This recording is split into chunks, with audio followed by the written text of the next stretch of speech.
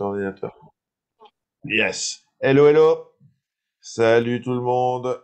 Bonsoir Xavier, bonsoir Taille. Bonsoir à tous.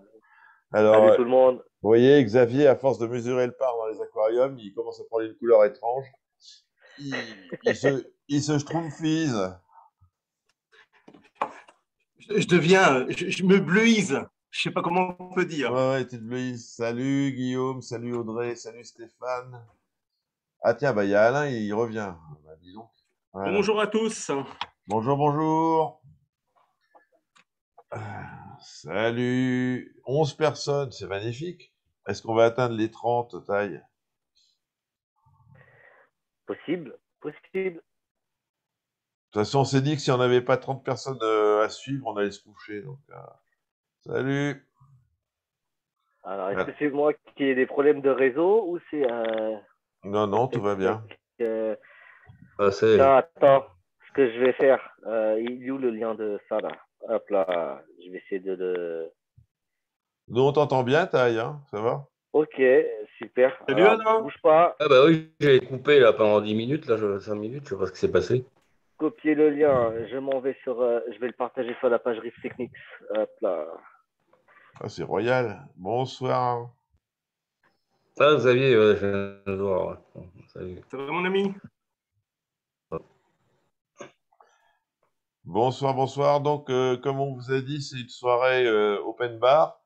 Donc, on attend vos questions. S'il n'y a pas de questions, bon, on va se piloter. Hein, euh, C'est voilà. ça. Hein, voilà. allez, allez, allez. Hop, hop, hop. Donc, il y avait déjà, euh, euh, je sais pas qui va pouvoir répondre, Alain peut-être? Euh, à quoi ça, le potassium Qu'est-ce que tu dirais sur le potassium euh, dans un bac? Ah, Peux-tu nous parler du potassium? Bah, le potassium, il n'est pas utilisé en grosse quantité, donc euh, normalement, il y a, en temps normal, il n'y a pas besoin d'en rajouter, mais par contre, la concentration est quand même importante parce que ça agit au niveau métabolisme dans ce qu'on appelle les pompes sodium-potassium. Xavier? Donc, C'est pour ça que si ça a des valeurs vraiment euh, aberrantes par rapport aux 400 mg, ça peut poser des problèmes. Alors, euh, dans la pratique, euh, on risque d'en perdre si on met de la zéolite, parce que dans l'eau de mer, la zéolite euh, a une grande affinité pour le potassium. Donc, c'est pour ça qu'on en, on en vend, c'est surtout qu'on utilise la zéolite. Ouais. Alain, tu as, une autre voie quand même de consommation de, du potassium. C'est tout ce qui est refuge à algues, Oui. d'eau. c'est ce que vous êtes en train de dire. là. Tu peux couper la pique. oui, donc des plantes, par contre, contiennent beaucoup de potassium. Donc, effectivement, les, les algues, euh, si on a une grosse pousse d'algues parce qu'on a beaucoup de nitrates, là, du coup, on peut être amené à aussi rajouter du potassium. Parce que dans tous les engrais de plantes, il y a, il y a le- enfin, la fameuse euh, formule NPK. NK, c'est pour le potassium, c'est azote, phosphore, potassium. Donc, toutes les plantes, y compris les algues, ont, besoin de beaucoup de potassium. D'accord. Et le potassium, la concentration, c'est 20 mg sous le calcium, c'est ça hein? C'est autour des 400 comme le calcium. Quoi. Non, mais c'est pas un peu inférieur au calcium en principe Comment? C'est pas un petit peu inférieur au calcium, David? Oui, ça peut être à 380, mais le calcium, il est variable, donc euh, c'est pas. Alors que le potassium, il est censé être plus, plus ou moins constant. quoi. Le calcium, comme il est consommé pour la pousse des coraux, effectivement, il peut varier beaucoup. Mais euh, dans l'eau de mer standard, il est à 410. Effectivement, le potassium, on considère qu'il faut qu'il soit au moins à 380. quoi. Après, tu as Fauna Marin, effectivement, qui considère, dans leurs recommandations, là, ils ont toute une page de connaissances assez intéressante là, sur leur site euh, Fauna Marin. Mhm. Et, et c'est vrai qu'ils considèrent que l'idéal, c'est d'avoir 20 mg de moins que le calcium, en sachant, je crois qu'ils visent un taux de calcium entre 420 et 440. Donc, on est en gros dans les ordres de grandeur que tu donnes, Alain. hein. c'est pas, euh, si tu veux, on est à quelques pourcents près, donc c'est C'est pas ça. non plus. C'est quand tu commences à dépasser les 10% de variation, ça commence à être gênant. Mais 10% sur 400, ça fait 40. Toi. Donc 360, ça commencerait à être un peu bas. Quoi. D'accord. Ouais, c'est pour ça, si, si on a des refuges, on a, inté- on a plutôt intérêt à surveiller le, le taux de potassium. Quoi. Parce que, par exemple, Oui, la, mais ça- la, la, elle, en- elle en consomme quand même vachement.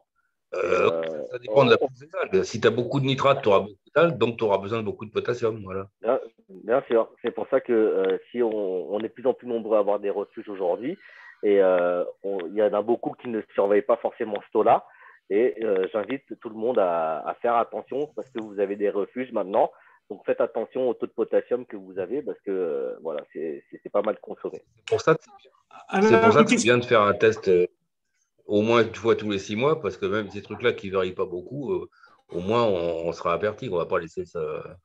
moi, je trouve que ça varie beaucoup. Hein, enfin, ça peut varier quand même fortement. Hein. parce que quand tu consommes un milligramme de nitrate, Alain, tu consommes combien de milligrammes de, potassium?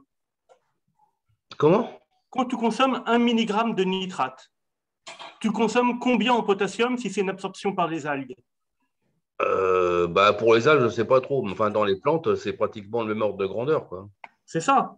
Donc, ça va vite quand même. C'est-à-dire que si, si, ton refuge à algues consomme 10 mg par semaine, ce qui est quelque chose d'extrêmement euh, facilement euh, atteignable. Oui, attention, c'est sur le poids sec. Donc, mais c'est la raison, c'est pas négligeable. Hein. Attention, hein, si tu retires un kilo d'algues, ça c'est sûr qu'un kilo d'algues, ça fera 100 grammes de poids sec. donc là, ça commence à chiffrer. Mais sur les 100 grammes, tu as, surtout du, du carbone. Hein. C'est euh, pour 100 grammes de carbone, tu as seulement 20 grammes d'azote et 1 gramme de phosphore. Donc pour le potassium, tu peux considérer si c'est comme l'azote, ça sera euh, d'à peu près, euh, bah, comme j'ai dit, 100 grammes, 20 grammes. Ah oui, donc 20 grammes pour 100 grammes de poids sec, ça commence à faire beaucoup. Oui, ouais. Pour ça fait 20 mg, donc c'est pas non plus. voilà avoir, avant d'avoir un kilo d'algues, faut... mais effectivement, pour un grand bac, il faut. Et du coup, les coraux, ils, consomment euh, le potassium par le biais des oxantelles euh, Oui, mais si tu veux, la biomasse des oxantelles, elle ne varie pas des masses. Quoi. alors, ah, si, euh, par rapport au début du bac, si tu as trois boutures et puis dans un bac plein, c'est toujours pareil, c'est une question de, de, proportion. Hein. Donc, c'est vrai que pour un bac qui est chargé, tout est consommé en plus grosse quantité. Donc là, il faut faire attention. C'est pour ça qu'encore une fois, c'est important de faire les petits CP si on a la flemme de, bah, test potassium, les, les, faire. Les, les, coraux colorimétriques. Hein. Bah, au niveau des oxantelles, à minimum. Ouais, d'accord. Parce que là, il y a une question. Et donc là, le potassium, il est. Si en nous, par exemple, c'est possible que tu en aies besoin de plus aussi. Hein. Si tu as un refuge à algues et que tu changes 20% euh, d'eau tous les mois, tu n'as pas besoin de rajouter de potassium en plus, en principe. Bah, moi, je dirais que si. Parce que ça, m'étonnerait que, que tu, aies tu, aies un surajout dans l'eau dans, dans de mer nouvelle que tu vas apporter qui va compenser la perte que tu vas perdre. Quoi. Si tu veux, si c'est constant, on va dire, euh, tu as un taux, ton eau de mer euh, que tu fabriques, elle est à 410 mg, mais tu descends en fait euh, tout le temps, le reste du temps, tu n'arriveras jamais, ça va toujours aller à la baisse en fait. C'est une courbe qui va toujours aller vers, le, vers plus bas. quoi. C'est exactement ça, c'est en ratio avec ce que toi tu perds. D'accord. Là, il y, avait une question, là je vais l'oublier après, de Guillaume. Il dit les, y a, les ICP, ils ne testent plus le fluor. Enfin, ça, je suis pas au courant. Est-ce qu'il y a un intérêt à tester le fluor et éventuellement à le supplémenter? Bah, Le fluor, il y en a quand même pas mal dans l'eau de mer synthétique, dans l'eau de mer et dans l'eau de mer synthétique aussi. Quoi. Donc, euh, effectivement, c'est pas le. C'est pas aussi utilisé que l'iode. Enfin, c'est utilisé quand même entre l'iode et le fluor, mais ça, c'est vrai qu'il n'y a pas beaucoup de documentation là-dessus. Mais c'est vrai que le fluor, il y en a quand même beaucoup plus que l'iode. Donc, il y a très peu de chances qu'on soit vraiment en gros manque de fluor. Quoi. Vous aviez Pourtant, priori, Je sais pas. Et taille, tu sais pas non plus? Oh, Non, non, ça, ça, fait, ça fait un moment que j'ai passé d'ICP. Moi, je suis retourné en maintenance à l'ancienne. ouais. Non, il, manque que, il manque que la QI. Il faut, faut, se fixer sur le. D'accord. Alors, euh, le fluor, je ne sais pas si ATI le mesure. Par contre, je crois que le nouveau test de Fauna Marin, parce qu'en fait, chez Fauna Marin, il y a deux gammes d'ICP. Tu as l'ICP à 20 euros et l'ICP à, euh, je ne sais plus, 38 ou 39 euros. Et a priori, celui à 39 euros mesurerait euh, le fluor, notamment. D'accord. Euh, il y a beaucoup moins de risque d'être en manque par rapport à l'iode. Hein, D'accord. Est-ce qu'il y a un risque, pour revenir au potassium, il y a un risque de surdosage de potassium? Il se passe quoi si on surdose le potassium?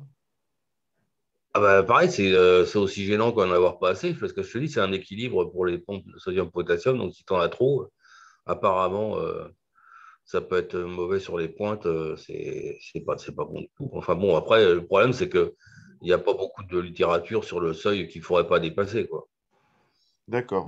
Le problème, c'est que l'eau de mer, c'est quelque chose d'un milieu relativement stable. Donc, si tu commences à, dépasser les 10% par rapport à la dose normale, il faut commencer à s'inquiéter, de toute façon, a priori. Il hein.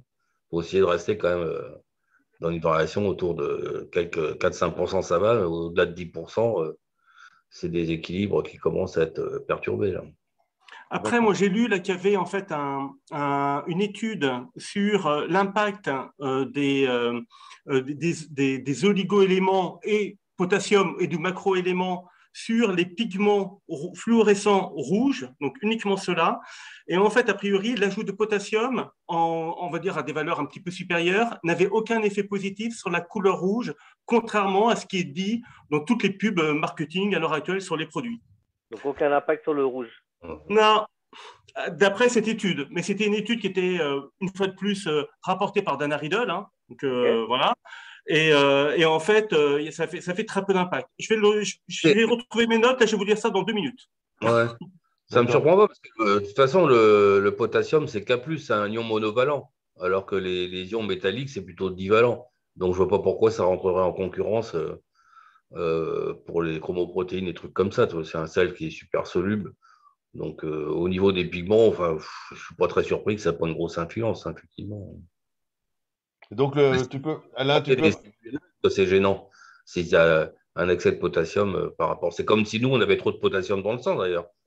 C'est ce qu'il faut voir. Nous, le, notre sang, en fait, c'est à la base, c'est l'eau de mer. Hein. Quand les cellules, les premières cellules sont créées, l'eau de mer était moins salée qu'aujourd'hui.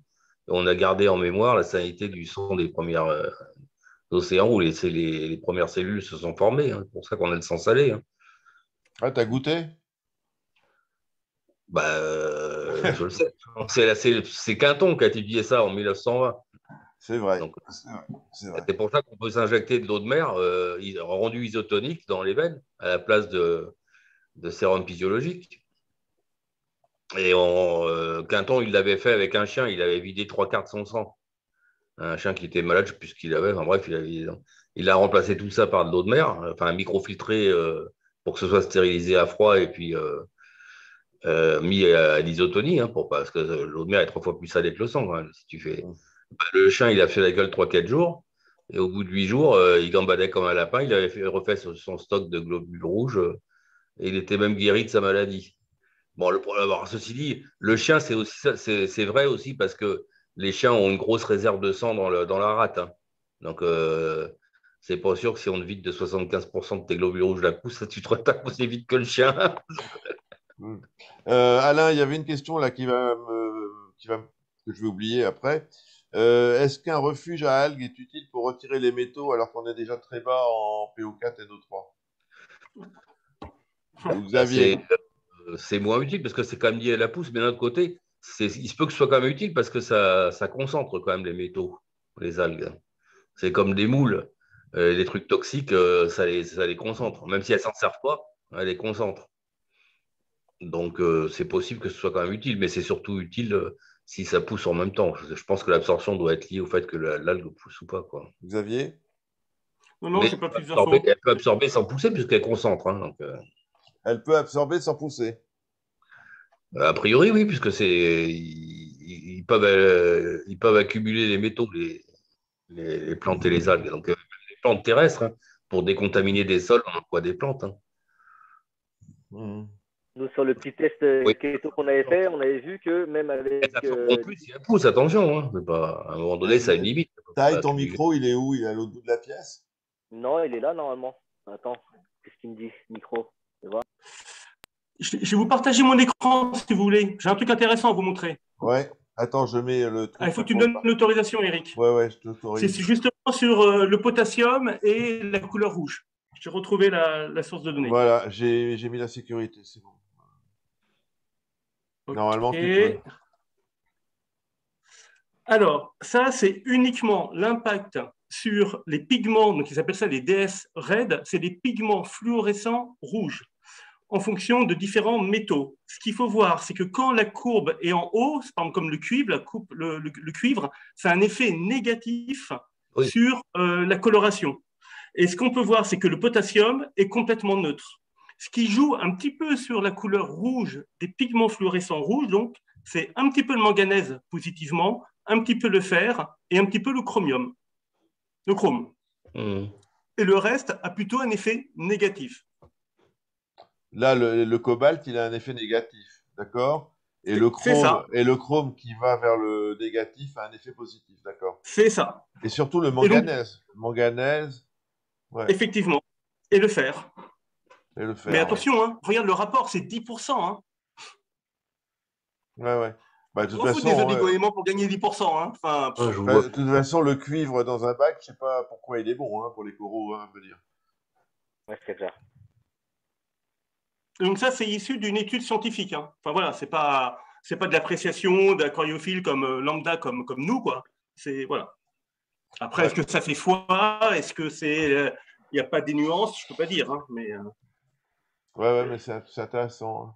C'est intéressant. Donc en fait, les, les, gens qui ont des, des coraux rouges, il faut vraiment contrôler leur taux de chrome, leur taux de fer et leur taux de manganèse surtout. C'est ce que dit cette étude. Effectivement. Et alors, le manganèse, euh, on, avait vu euh, lors de précédents, euh, précédentes soirées que ça requinquait les gonios. Souvent, les gonios étaient mal en point par un manque de manganèse. Mais c'est surtout les gonios rouges alors ou tous les gonios Alain? Oui, mais ça, cette histoire de manganèse pour les goniopora, moi je pense que c'est surtout que les goniopora n'étaient pas nourris. Donc, si tu les nourris, ils ont du manganèse. Si tu ne si tu les nourris pas, alors, effectivement, des, des qui crevaient la dalle, ils, manquaient de manganèse, donc ça c'est sûr. Mais euh, il vaut mieux les nourrir qu'apporter juste du manganèse et du fer. Hein. C'est pas ça qui, va, qui suffira à les, à les taper. Hein. Je pense que ça, ça changé. C'était il, y a 15 ans qu'on parlait déjà de ça. Mais je te dis, c'était lié à des publications sur les analyses du tissu du, du gogno qui manquait de manganèse. Mais euh, pas précisé si le Tegoniopora était nourri ou pas. Hein. Moi, je, que j'ai constaté, c'est que des goniopora, il faut surtout bien les nourrir. T'as pas de problème. Ouais, attends, je prends les questions. Juste du manganèse, euh, d'accord. Ça suffira pas. Je prends les questions au fur et à mesure qu'elles arrivent. Comment éviter les algues invasives et problématiques comme la derbésia ou les dinos suite à la mise en place d'un refuge à Caeto bah, Moi, je pense que la mise en place d'un refuge, ça déséquilibre les nutriments et du coup. Euh, bah, ça prend juste un peu de temps, mais il faut justement euh, allonger le cycle dans le refuge pour que, concurrencer euh, et puis euh, pas éclairer trop longtemps dans le bac et puis euh, ça finira par s'équilibrer. Xavier, toi qui es spécialiste des refuges? Spécialiste. J'ai juste lancé un refuge, si tu veux, j'ai vu son évolution.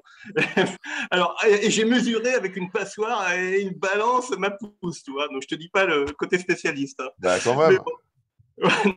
non. Et donc, non, mais par contre, moi, je, vais donner mon expérience parce que je pense qu'elle répond peut-être en partie à cette question. Euh, quand tu as un refuge que tu mets dans une partie dans ta décante, cette, cette décante n'était pas éclairée. Donc, le substrat, on va dire les vitres, n'étaient pas recouvertes d'un biofilm algal. Et quand j'ai mis moi ma, ma, lampe avec un petit peu de caïto, au début, j'ai eu une invasion d'une espèce d'algue un peu dégueulasse un mélange de dino, de cyano. Je ne peux pas dire, je n'ai pas regardé au microscope ce que c'était. Mais en tout cas, c'était dégueulasse au début. Et puis, au fur mais c'est comme quand on lance un aquarium neuf avec des pierres neuves, où très souvent au départ, eh ben, il y a une invasion d'algues dégueulasses. Et puis, au bout d'un moment, eh ben, j'ai vu que cette algue s'est mise à disparaître toute seule. Et en fait, toutes mes vitres à l'heure actuelle sont recouvertes par de la coralline. Donc, euh, ce que je dis, moi, c'est que la, nature a horreur du vide. Et généralement, bah, quand la place est vacante, au début, qu'est-ce qui va envahir? C'est des algues un peu dégueulasses, mais qui vont au final, en fait, finir par. Euh, les, algues positives peuvent, en tout cas chez moi, c'est comme ça que ça s'est passé, peuvent finir par, euh, prendre la place, quoi, par concurrencer, comme ça se passe également dans un aquarium récifal euh, dans, la phase de lancement. Dans la phase de lancement, pour les gens qui n'ont pas encore eu de bac, on a d'abord ce qu'on appelle les algues inférieures, donc c'est les filamenteuses et les conneries comme ça, qui petit à petit sont remplacées par les algues supérieures. Moi, je me rappelle quand j'avais lancé mon bac, j'avais eu des fils, enfin il y a longtemps, hein, le premier, j'avais eu des filamenteuses et puis après j'avais de la colère qui était venue de je ne sais où. Mais j'avais eu beaucoup de, de, colère. Et puis après, la colère a fini par disparaître et puis terminé. Quoi, voilà. Je sais pas ce que vous en pensez, Taille et Alain également? Euh, Oui, parce que bah, c'est ce qu'on appelle les algues pionnières dans un milieu neuf, effectivement. C'est des algues qui sont existantes sur les proportions d'oligo, même si on a un peu beaucoup, ça ne les gêne pas. Et puis après, faut pas oublier qu'il y a une guerre, des, une guerre chimique entre. C'est connu pour les coraux, il y a une guerre chimique entre les coraux, mais les algues, c'est pareil. Hein. Et les plantes, c'est pareil. Les plantes, euh, dans un aquarium d'eau douce, euh, si elles sont en bonne santé, elles émettent des substances euh, pour empêcher la prolifération des, algues. des algues. Mmh. quand on a un problème d'algues en eau douce, c'est souvent un problème parce que les, les plantes ne poussent pas. Si les plantes poussent bien, même en éclairant un peu longtemps, euh, on n'est pas forcément envahi d'algues. D'accord. Et après, par contre, juste tout ce qui est d'herbésia, bryopsis, ainsi de suite, le problème, c'est qu'on n'a pas tellement de prédateurs, a priori. C'est-à-dire que si on n'a pas de prédateurs, une fois qu'elles sont installées, ça devient très compliqué malgré tout, pour les éradiquer. Et tout, le monde, va mettre des guppies et des mollies dans leur bac. Elles supportent la lumière, enfin bref, elles ont. Euh, euh, elles arrivent à pousser dans les mêmes conditions qu'un bac de coraux. Donc c'est pour ça qu'on a du mal à se débarrasser. Effectivement, quand il y a pas en plus, il n'y a pas beaucoup de prédateurs. Ouais. ouais Concentrez-vous là. Bien brassé en brassage direct en plus. Mmh. Ouais. Concentrez-vous parce que là, il y a une question d'Audrey euh, que je vais vous lire. Si mon truc revient, merde, j'ai plus les commentaires. Je, teste. de, je teste de baisser mon complément de KH et augmenter la dose de calcium, tout ça avec un magnésium supérieur à 400. Pour l'instant, c'est bon, vous suivez? 1400 À 1400. Mon magnésium descend, mon taux de calcium ne monte pas plus que ça et mon KH monte tout seul. Est-ce que vous y comprenez quelque chose? Euh, Tu peux répéter? Ouais, ouais, j'ai relu trois fois aussi. Moi, j'aurais changé de test. Ouais, non, mais attends, attends, je, répète parce que je teste de baisser mon complément, donc j'imagine qu'elle est en billing. Hein. Je teste de baisser mon complément de KH et augmenter la dose de calcium. Donc elle baisse le, KH, elle augmente le calcium. Tout ça avec un magnésium supérieur à 1400. Mon magnésium descend, mon taux de calcium ne monte pas plus que ça et mon KH monte tout seul. Bah parce que le, le euh, il y a trop de cash par rapport au calcium, c'est tout. Mais c'est le baisse le cash. Le, taux, il est à combien de base? C'est ça. Si elle peut nous dire ça. Parce que s'il est déjà à 500, euh, c'est compliqué. Et puis, quelle ligne elle utilise aussi la baisse Un bicomposant, un tricomposant, un quoi enfin... Ouais. Comme ça, c'est un peu. Euh, elle augmente la dose de calcium. Bah oui, en augmentant le calcium, ça fait baisser le cash. Ah non, il monte le cash. Ben, le, problème, il faut régler d'abord le cash. Et c'est après, une fois que le cash est stable, tu, tu, regardes si le calcium, magnésium, ça change. Et à ce moment-là, tu modifies calcium et magnésium. Et la salinité aussi. C'est le cash, de toute façon. Combien salinité Parce que lui, il baisse en même temps que le, que le calcium et le magnésium, en même temps que les deux à la fois. Donc le, cash, il se règle en premier. Et ça ne sert à rien de. Elle, est à. alors, elle utilise le, les tests, c'est des salifères tout neufs. Elle utilise le Belling Light de Marin. Elle a 440 pour le calcium et 1420 pour le magnésium et 8,5 de cash. Eh ben parce qu'elle met un peu trop de cash à ce moment-là. Ouais, c'est possible. Le cash, euh, il est, il est, euh, il est assez concentré. Hein, le magnésium, à 1400, bah ça va, hein, c'est 1350. Ouais, mais justement, elle a baissé, elle a baissé son, son ajout de cash et il continue d'augmenter. Eh ben, il faut rebaisser encore plus parce que je te dis, c'est que le, le, ça pousse pas si ça pousse moins vite et voilà, c'est tout. Hein. S'il si, continue à augmenter, c'est qu'il y en a trop, donc tu baisses le clash, c'est tout. ça, ça, se trouve avec euh, justement si a, peut-être un problème de, de, niveau paramètre, du coup ça, pousse et bloqué. Peut-être qu'elle a des montées de phosphate qui fait que les coraux poussent moins vite et du coup euh, la consommation de cash diminue. Hein. D'accord, elle est à 1025 en, en chose en densité. Ok. Alors, après... Euh, qu'elle essaye de couper le cash déjà sur, euh, sur un jour, un jour ou deux. Pour voir la consommation, ouais. ouais. Et, si ça ne consomme pas, c'est que les coraux poussent pas, quoi. Euh. C'est ça, c'est que soit il y a du phosphate, soit il y, a un facteur limitant qui fait que continue d'injecter, mais les coraux ne consomment pas parce qu'ils sont en espèce d'hibernation. Et du coup, bah, le cash il continuerait d'augmenter. Donc, il faudrait qu'elle essaie de couper sur 24-48 heures et mesurer ça. D'accord. Attends, qu'est-ce qu'elle dit après là? Oui, mais je suis stable au départ avec le cash avec 40 ml par jour. Et là, j'ai baissé le cash à 25 ml et ça augmente encore. Ouais, mais si elle a une montée de phosphate ou un autre truc comme ça, tu vois. Après, le problème, c'est qu'il utilise, je crois, le Balling Light de fauna marin. Ouais. Et c'est très particulier, Balling Light. je ne le connais pas bien, mais je crois que ce n'est pas comme le Balling, on met, en, comment dire, on met normalement des doses équivalentes. je crois que ça ne fonctionne pas comme ça, le Balling Light. Moi, je l'utilise, le Balling euh, Fauna Marin, là, celui-là. Là. Et euh, par exemple, j'injecte, je crois que je dois être à, 40 ml de, 40 euh, ml de KH par jour pour compenser 1,5 de KH sur 400 litres d'eau. Et en calcium et en magnésium, tu as combien? Et, en calcium, euh, magnésium, je ne le dose pas parce que je suis en sel tropique marin et euh, ça compense euh, largement ce, que, ce, que je, ce que je consomme. Je consomme quasiment rien. Et euh, le calcium, je dois doser, je euh, je sais pas, 10 ml ou 15 ml, tu vois, ça n'a rien à voir. Donc c'est complètement déséquilibré, entre, entre guillemets. En, fait, en, fait, c'est pas, pas un baling normal où tu es censé avoir la même consommation sur les trois bidons. Là, déjà, tu n'as que deux bidons de base. Enfin, tu as, trois bidons avec le fauna marin parce qu'il y a le magnésium qui est séparé. Et, euh, et, voilà, après, tu dois faire des changements d'eau pour établir ta salinité aussi. D'accord. Et Audrey, là, elle précise qu'elle n'a pas de phosphate, elle a 0,02. Hein. Oui c'est bizarre. À mon avis, c'est peut-être un défaut d'utilisation du bailing. Peut-être. Je sais pas. Non, de toute façon, il n'y a pas besoin de se prendre la tête. Si, ça monte, c'est qu'on en met trop, c'est tout. Donc on est voilà, donc il faut écouter le sage qui parle. 10%, tu vois ce que ça donne. Euh, si 10% ça augmente euh, encore, mais à moins vite, bah, tu diminues encore de 5% jusqu'au moment où ça reste stable, c'est tout. Hein. Alors, visiblement, j'ai un problème de son alors que je viens de changer de micro. Euh, j'ai changé de micro. C'est peut-être mon Wi-Fi qui veut pas. Je vais tenter de sortir de mon Wi-Fi sans. Tu es un petit peu loin. Je sais pas que tu as un problème de son, mais tu es loin. Après, on peut peut-être aborder un petit sujet tout bête là, mais qui peut être utile à pas mal de personnes qui débutent, en tout cas, hein, pas les personnes expérimentées, ça je pense qu'ils le savent. Mais quand tu prends du balling classique, il est super fréquent quand même d'avoir la dose de KH bien supérieure à la dose de calcium ou, le troisième composant. Et ça, quand même, a priori, Alain, tu, me contredis, mais a priori, c'est normal parce qu'en fait, le calcium rentre quasi uniquement dans le processus de la calcification, alors que le KH va rentrer dans plein de, comment dire, de d'autres euh, euh, phénomènes, euh, d'autres mécanismes biologiques a priori, dans le cycle des bactéries, je crois que le cache est utilisé. Les, bactéries dénitrifiantes, ça fait baisser le cache. Mais après, donc plus tu as de poissons, euh, plus tu auras une baisse de cache liée à l'activité euh, biologique pour épurer les déchets des poissons. Voilà.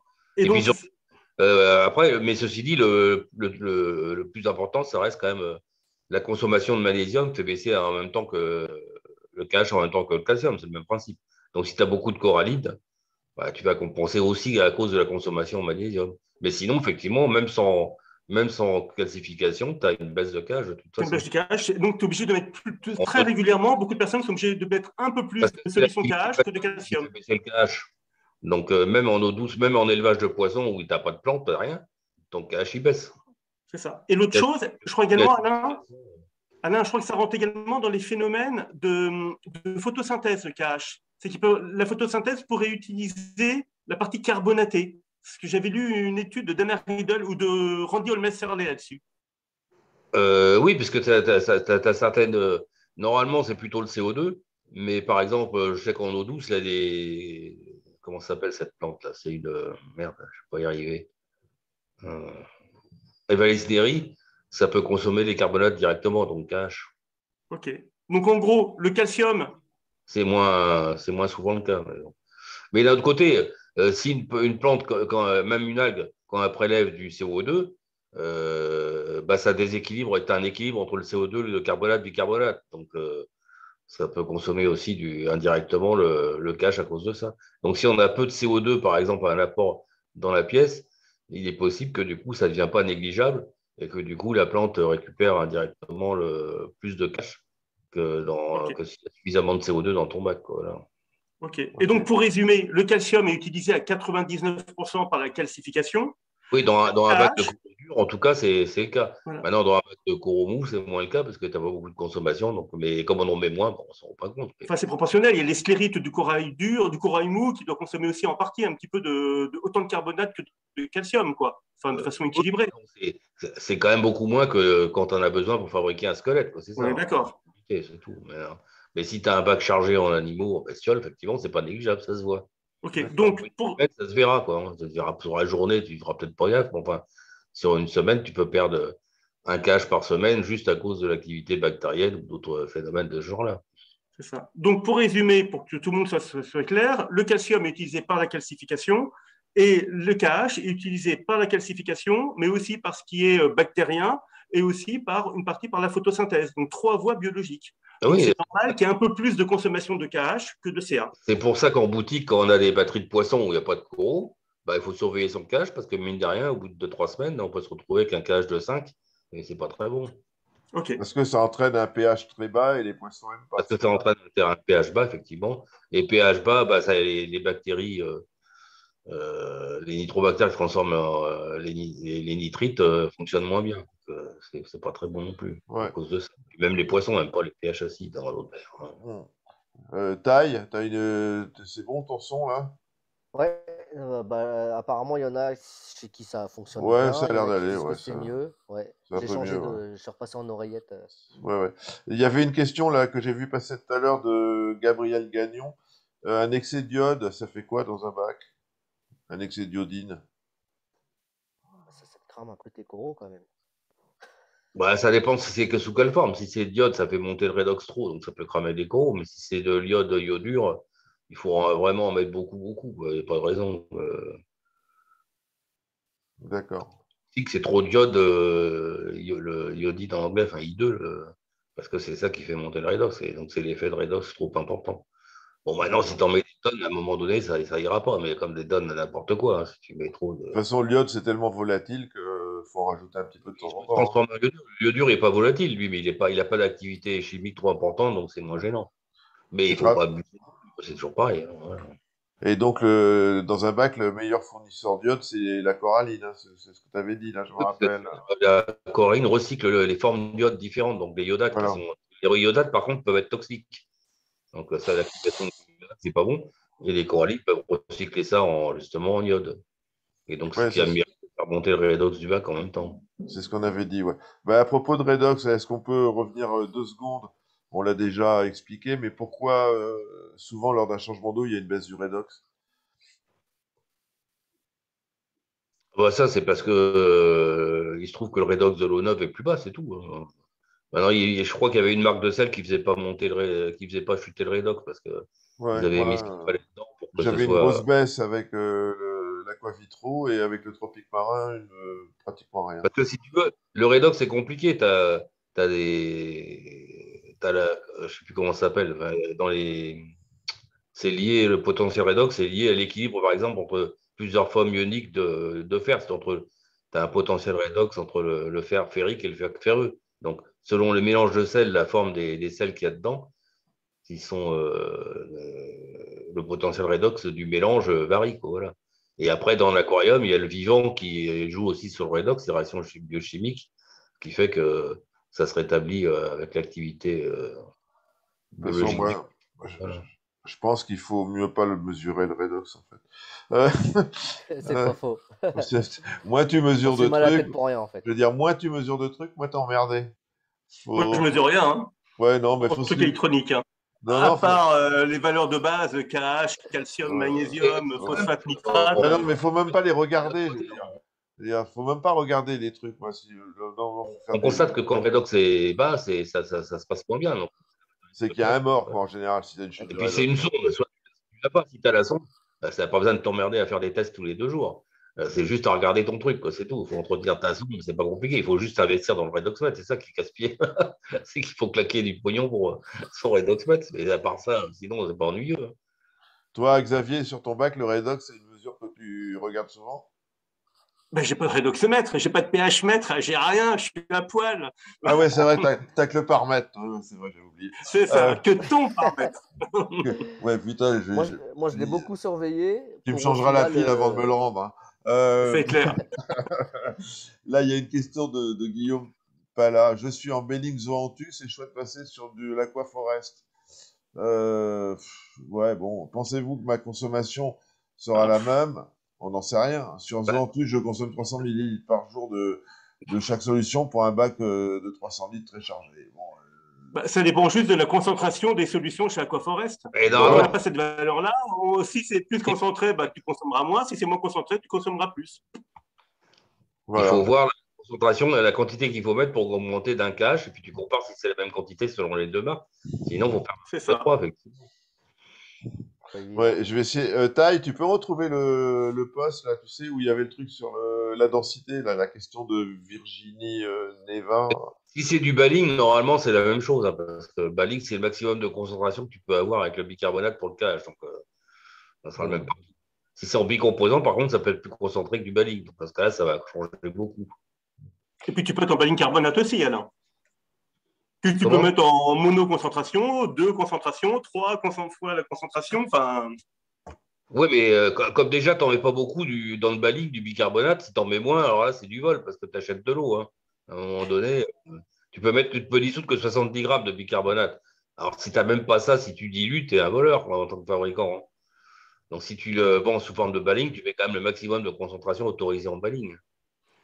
Sinon, Juste, je, me permets un truc. Il y a eu sur BRS TV, il y a peut-être un mois, il y avait une vidéo qui peut être intéressante.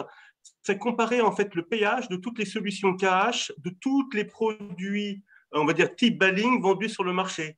Et ce qui était intéressant, ça permettait de voir en fait si c'était le KH du bicarbonate, du carbonate ou un mix des deux. Ah oui, ça bien sûr. Là, bah oui, parce que le. Carbonate, c'est 7-8, c'est du carbonate pur. Euh, ça doit être 9, 5, 9, plus de 9,5, je crois, un truc comme même, même plus que ça, c'est du carbonate pur. ça monte à 10 et des poussières. Et la chose, c'est 11, 11 et des poussières, 11,40, je crois. Alors, Eric, tu voulais le commentaire, la question de Virginie Neva, c'est ça, sur la salinité? Ouais.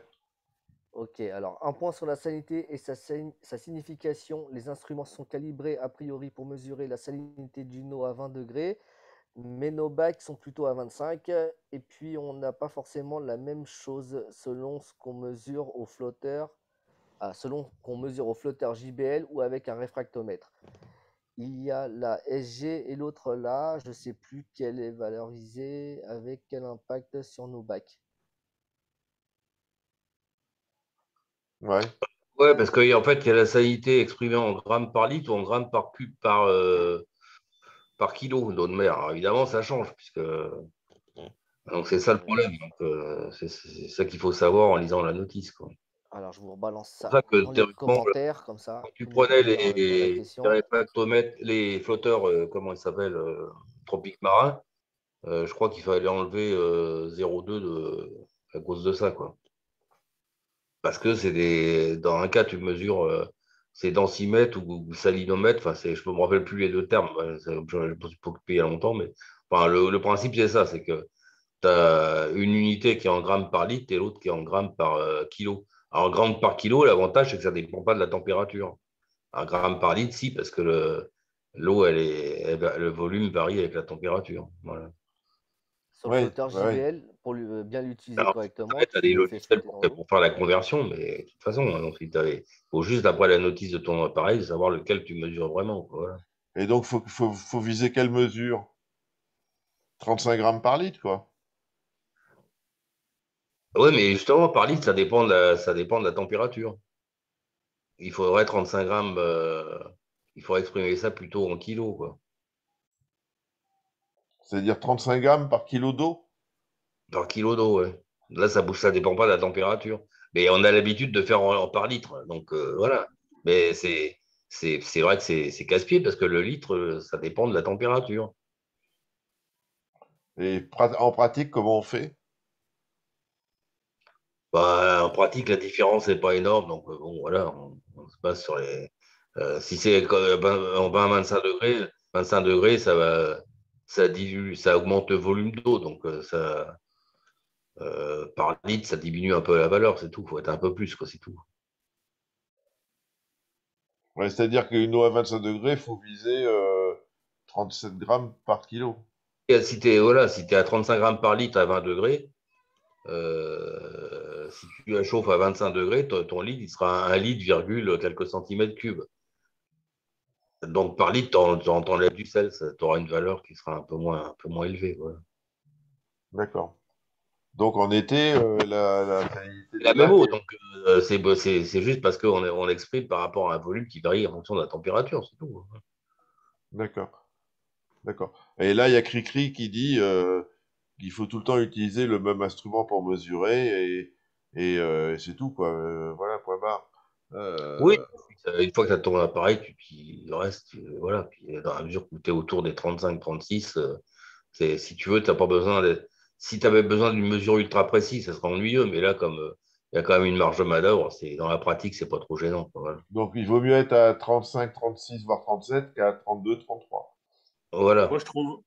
La mer rouge, hein, elle, est, super élevée, par exemple. Hein. La mer rouge, Non, mais c'est pour les poissons que c'est embêtant. La mer rouge, elle est à 40 grammes par litre. Hein. On mieux toujours être un peu plus haut, qu'à mon avis, je trouve qu'un peu plus bas. mais, une salinité élevée. le problème, c'est des poissons quand tu, viens, quand tu les acclimates. Et après, une fois que tes poissons sont acclimatés et tout, tu t'en fous. Tu, peux, tu peux avoir la bonne salinité pour les coraux, parce que c'est vrai que les coraux préfèrent une eau un peu plus salée. Il n'y a pas de doute. Ça ne vit pas dans les sphères, les coraux. Donc, euh, c'est vrai que c'est plutôt mieux d'être à 35-36 grammes par litre qu'à 33-34, même si c'est possible. En plus, une salinité élevée, enfin normale, ça permet de maintenir plus facilement les paramètres KH, calcium, magnésium. Oui, enfin, ça, oui et non, mais. oui, il plus. D'accord. Le flotteur, Audrey, pour, pour mesurer la, euh, la, densité ou la salinité, tu euh, le fais tremper dans, dans l'espèce de tube là, avec l'eau dedans tu laisses, tu laisses un petit peu le temps que ça, arrive à mesurer la température. Et sur le côté, en fait, tu as une petite étiquette qui t'indique en fonction de la température qu'il qui, y a avec le, mercure qui n'est plus du mercure, la, température de ton eau. Et en fait, tu vas pouvoir faire, comme on dit, contrebalancer avec la Sinon, tu as des, des, petits logiciels sur Internet, tu trouves ça facilement. Hein. Donc, tu as le calcul en ligne euh, pour faire la calcul directement. Mais effectivement, sinon, si c'est mis sur l'étiquette, tu peux, euh, tu peux utiliser cette solution. Donc, vous, vous, vous, vous trois, là, pour, pour euh, aider les gens, vous êtes plutôt flotteur, plutôt truc ANA électronique, plutôt réfracto électronique, plutôt réfracto manuel. votre, ça va vers où votre préférence? Bah, Je vais au flotteur. Le réfracto électronique, il faut reconnaître que c'est pratique. Hein. Un flotteur, c'est tu peux pas le dérider non plus. Hein. Euh, l'avantage euh, du, flotteur, c'est ça, c'est que c'est un instrument fidèle. Il, donnera toujours la même valeur pour la même salinité. C'est ça. Il pas, quoi. C'est ça le gros avantage du flotteur. Donc, si, tu l'as étalonné au départ, tu es sûr de, qu'il est bien étalonné, l'étalonnage ne bougera pas. Tu n'as pas besoin de le réétalonner. Tu l'étalonnes une fois quand tu l'achètes. Deux fois, tu étalonnes quoi une fois quand tu l'achètes? Qu'est-ce que tu étalonnes j'ai pas compris. Ben, il faut étalonner dans le sens où il faut s'assurer que si tu indiques 35 euh, grammes par litre, tu as bien 35 grammes par litre. Ah donc, il faut faire tremper, faut faire tremper le flotteur dans une solution à 35 grammes par litre. une concentration connue, voilà. D'accord, ouais, parce que effectivement. le fait parce que il y a des solutions, c'est fait pour les trucs électroniques, donc ils font 100 millilitres, donc si tu es obligé d'acheter. Euh, et en théorie, tu vérifies avec l'eau de ton bac avec un réfracteur. normalement, c'est le boulot des fabricants de le faire. Hein. Moi, faut... ceci dit, il y, a, il y a rarement de grosses erreurs. Alors, si c'est des trucs vraiment bas de gamme, il faut se méfier. Mais par exemple, j'avais mesuré une dizaine de JBL pour voir ce que j'avais reçu un gros arrivage, je voulais vérifier. Et c'est vrai que je n'avais pas trouvé de différence euh, entre les 10, ça donnait la même valeur. Donc, ça, je suppose qu'il l'avait étalonné à peu près correctement. Quoi, Ouais, et dans le, dans, dans le, le, tube là, que vous avez pour le ranger, il y a une petite mousse bleue, il me semble, de mémoire. Pour euh, quand vous rangez votre, euh, votre flotteur JBL, là, qui n'est pas un gros choc en fait, au fond.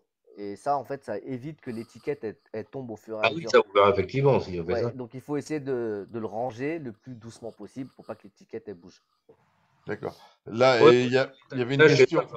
mettre l'étiquette au bon endroit, mais si c'est pas collé, effectivement, après, c'est casse-pied. Il y avait une question avec le flotteur, on lit euh, la mesure au-dessus de la surface ou en dessous de la surface? Non, en bas du ménisque, normalement. Donc le ménisque, on a une courbe et en bas du ménisque. C'est le fond du ménisque, c'est pas le c'est pas le bord du ménisque. D'accord. Ok. Euh, tac tac. Bah tiens, Audrey, elle a un flotteur en permanence dans un coin calme de la décantation. Bah ça, c'est pas une bonne idée. Non. Parce que je pense que ça se recouvre malgré tout, même si le poids doit être faible. Mais ça peut se recouvrir peut-être un peu d'algues, peut-être un. Enfin voilà. Biofilm, euh, pas mal de choses. Après, c'est léger. Hein. Moi, Coraline, euh, dans, dans, le refuge, je l'ai oublié dans le refuge une fois et euh, Coraline euh, envahit dessus. Hein. Rempli de Coraline. Ah bah là, ça fout tout en l'air parce que le, la Coraline, quand tu la grattes, elle tombe au fond, donc elle est plus lourde que l'eau. Donc forcément, ça. ça va modifier ton truc, c'est sûr. Après, c'est toujours pareil, la c'est le poids relatif. C'est peut-être à cause de ça qu'Audrey a son cache qui descend, le calcium qui monte, le magnésium qui fait du zigzag. je décolle, je décolle, Ah ouais, mais attention, hein. quand tu vois le. Pour Audrey, elle a peut-être. Euh, est-ce qu'elle a vérifié, Audrey, est-ce que tu as vérifié, euh, est-ce que tu as calibré tes pompes doseuses? Bonne question. C'est pareil, en théorie. En fonction de du modèle, euh, par exemple, si tu es sur de la GBAO, euh, en fonction du modèle sur lequel tu es tombé, euh, tu peux avoir à recalibrer toutes les semaines, tu vois. Donc ça, peut aller très très vite. De toute façon, tu calibres avec le résultat ce que ça donne dans ton bac, donc tu t'en fous un peu, quoi. Tu règles ton appareil pour avoir ton cache dans ton bac. Donc, ben, justement, comme son cache, il n'arrête pas de monter tout seul. ah oui, c'est oui, Là, tu as raison. une piste à explorer. Tu as, raison dans le sens où si, le, par contre, le, volume il varie avec le temps, là, tu es dans la merde, effectivement. C'est ça. D'ailleurs, j'en profite. Hein. moi, je trouve que s'il y a un équipement pour les gens qui débutent, hein, sur lequel on doit investir un peu d'argent, c'est la qualité des pompes doseuses. Alors, je ne dis pas que les pompes euh, GBAO, ainsi de suite, sont de qualité moyenne, j'en sais rien. Mais par contre, moi, je sais que c'est un, élément qui est vraiment hyper important, parce que comme le KH dépend complètement de, cet appareil-là. Et le KH, si on commence à avoir une forte population, ça peut baisser très, très rapidement. Donc, si ça évolue d'un jour sur l'autre, moi, personnellement, si je fais ça dans mon bac, je pense qu'en deux jours, euh, je vais avoir des nécroses de partout, hein, puisque je consomme 3, 3 degrés et demi KH par jour. Hein. ah, soit tu as des nécroses, soit... On part 4-5 jours, et que là, effectivement, ça peut être gênant, effectivement. Donc, je trouve que ça, c'est vraiment un matériel. Autant les pompes, entre guillemets, normales de brassage, si, on doit faire des économies, moi, je pourrais faire des économies là-dessus. Autant une, bonne pompe doseuse, euh, je ne ferai aucune économie. Voilà. Moi, je pense que tu as raison, surtout qu'en plus, euh, la plupart des coraux, tu vas pas le voir tout de suite que tu as une baisse ou un yo-yo de cash. Euh, et, quand ça pète, c'est souvent entre deux semaines et un mois plus tard. Ouais, j'allais te le dire. Là, tu, tu cherches partout, tu cherches partout. Euh, et, quand tu vois que c'est le cash qui a, baissé, c'est déjà trop tard. C'est ça. Non, tu as une baisse de cash le premier du mois, tu as des coraux qui pètent le, ouais, le 17, 18 ou le 20 du mois. C'est ça. Et tu as oublié que ton cash avait baissé en début de mois. Tu fais un, un ICP pour chercher euh, je ne sais trop quoi. L'oligo-élément manquant. Voilà, tu dis putain, je manque d'aluminium, merde. C'est ça. Mais non, c'est ton cash qui a baissé. Non, c'est pour ça que le cash, tu es obligé de le faire minimum une fois par semaine, hein, parce que de toute façon. Ah bah, pour moi, c'est tous les jours. presque tous le les cash, il doit être fait tous les jours. En tout cas, pour un bac de SPS qui pousse vite, c'est carrément deux fois par semaine, c'est le minimum. Mais ah tous les jours, pourquoi pas Parce que ça prend pas, ça prend deux secondes, c'est pas très long. Donc euh, voilà. tous les jours, peut-être pas, mais disons tous les deux, trois jours, on va dire. Audrey, elle a des pompes doseuses Red Sea qu'elle a recalibrées il y a une semaine. Donc, euh, bon, euh, moi, je pense que c'est une bonne qualité. Ça. Euh, Mais c'était plus un message général hein, pour tout le monde. Hmm. Euh, bonsoir. Quelle est la valeur minimale critique du cash Moi, je dirais 6. Bah ouais. Ouais, en dessous de 6, ça commence à craindre. Parce qu'en eau de mer, normalement, c'est 6-5. Euh, ouais, voire 7. Hein. Et donc, jusqu'à 6-5, ça va encore. Mais à partir de 6, effectivement, ça commence à être gênant. Ouais. Est-ce que des coromous, ça pompe du cash, Alain? Un petit peu.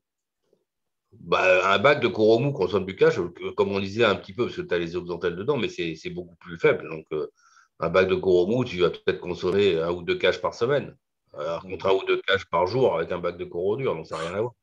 Ouais. C'est vrai qu'on a une belle audience, 50 hein. personnes qui regardent, dis donc. Ah, sur, un, bac de mou, le, le, cash, le, truc, c'est qu'on en a. Comment on, va, on va être moins regardant dessus en général parce que. Euh, il n'y a pas de nécrose. C'est ça. Un, il n'y a pas de nécrose. Et deux, pour la calcification, tu vois, c'est moins important vu qu'il n'y a pas de calcification. Oui, il y en a un petit peu bah, avec des corallines, normalement, c'est ça. Mais le corail lui-même, lui, consomme que dalle, effectivement. Mais... C'est ça. Mais si tu es comme moi et que tu n'as rien à faire de la coralline et que tu la chasses. Et puis, tu as l'activité bactérienne du haut poisson, tout ça. Donc, as quand même, normalement, tu dois avoir une baisse de 1 cache par semaine, quand même, hein, même si tu n'as pas de coralline. Euh. Bah ouais, avec tes, tes, bactéries, là, ce que tu disais tout à l'heure. Ouais. C'est les, petites bactéries qui pompent du cash. Hein euh, Allez-y, posez des questions là. Profitez-en. Regardez, on a les, on a plein d'experts On a Nitrobacter qui, avant qu'il s'endorme, là, posez-lui des questions. il, est bien posé en plus. Hein. Ah ne dort jamais. Il est bien posé. Il, est, il, dort jamais. Il est affalé dans son fauteuil là. Il est, Mais il, dort jamais. il, a, les yeux qui pétillent. Hein? Il boit, il, boit de la badoie, non, de la Sainte Pellegrino toute la journée. Ouais. ouais.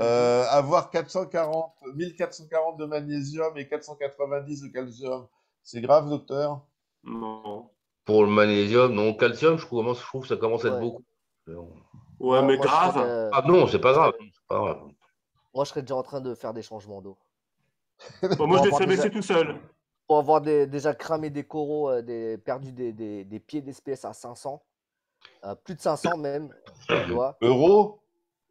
Non, à plus de 500 euh, de, de, calcium. Je sais, taille, je te taquine. je, suis très sérieux là. Ouais, calcium 490 pour moi.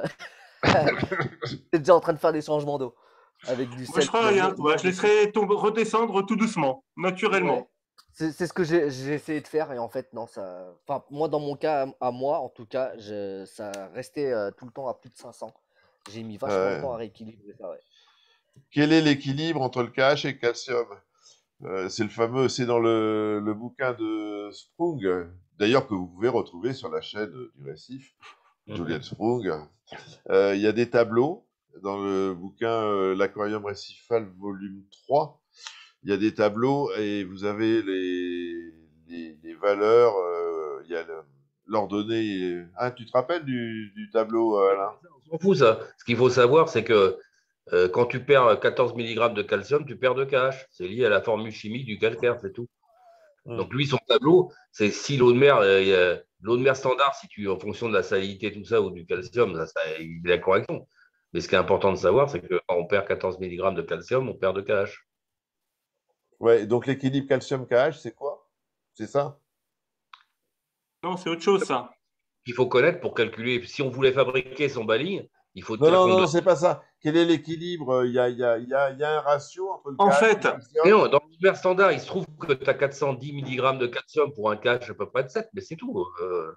Non, mais Alain, si à un moment tu dépasses une surconcentration, il y a une précipitation. Je pense que c'est ça que Eric veut évoquer tu précipiteras dans cette proportion-là. C'est-à-dire que si tu précipites, si tu perds 14 mg de calcium, tu perdras en même temps de KH. C'est ça. D'accord. Si, si, tu consommes, ton bac consomme 14 mg de calcium, il aura forcément consommé de KH. Voilà. D'accord. Milou, viens là. Il y a un mec qui a dit que je ressemblais à Tintin, donc je m'appelle Milou. Milou Chimique par euh, fixe, donc voilà. Il y a Maël qui a posé une question euh, sur les glabrescences. Pour revenir à ça, c'est pour ça que la connerie qui traînait dans le temps, comme quoi on pourrait régler le réacteur à calcaire pour avoir une proportion différente entre le calcium et KH, c'est une connerie. Bien sûr. Ah oui, avec, l'histoire du débit, avec l'histoire du débit. De baisser non, c'est pas... Mais non, c'est que le, calcul était, était, était, était bidon. Parce que les gens, ils calculaient la, euh, la variation du le rapport entre le calcium qui sortait du réacteur et le KH qui sortait du réacteur. Et ça, ça variait. Hmm. Mais est-ce qu'ils oublient Mais c'est normal. C'est parce que euh, le vrai calcul, il fallait calculer euh, en soustrayant la, différence, entre l'entrée et la sortie, parce que l'entrée, c'était, il y avait déjà du KH et du calcium.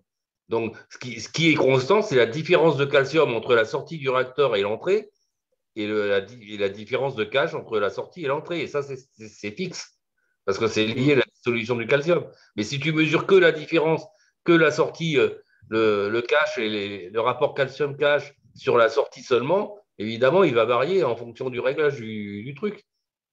Hmm. Mais et tu n'auras pas le rapport de 14 mg pour 2 KH, ce qui est eh ben, logique. et la différence, ça sera toujours de 14 justement de calcium. Hmm. Si, si en sortie, si tu as euh, si tu as 40 mg de plus, euh, enfin, euh, j'ai dit 14, si tu as 140 mg de plus en sortie de réacteur, tu auras 10 KH de plus.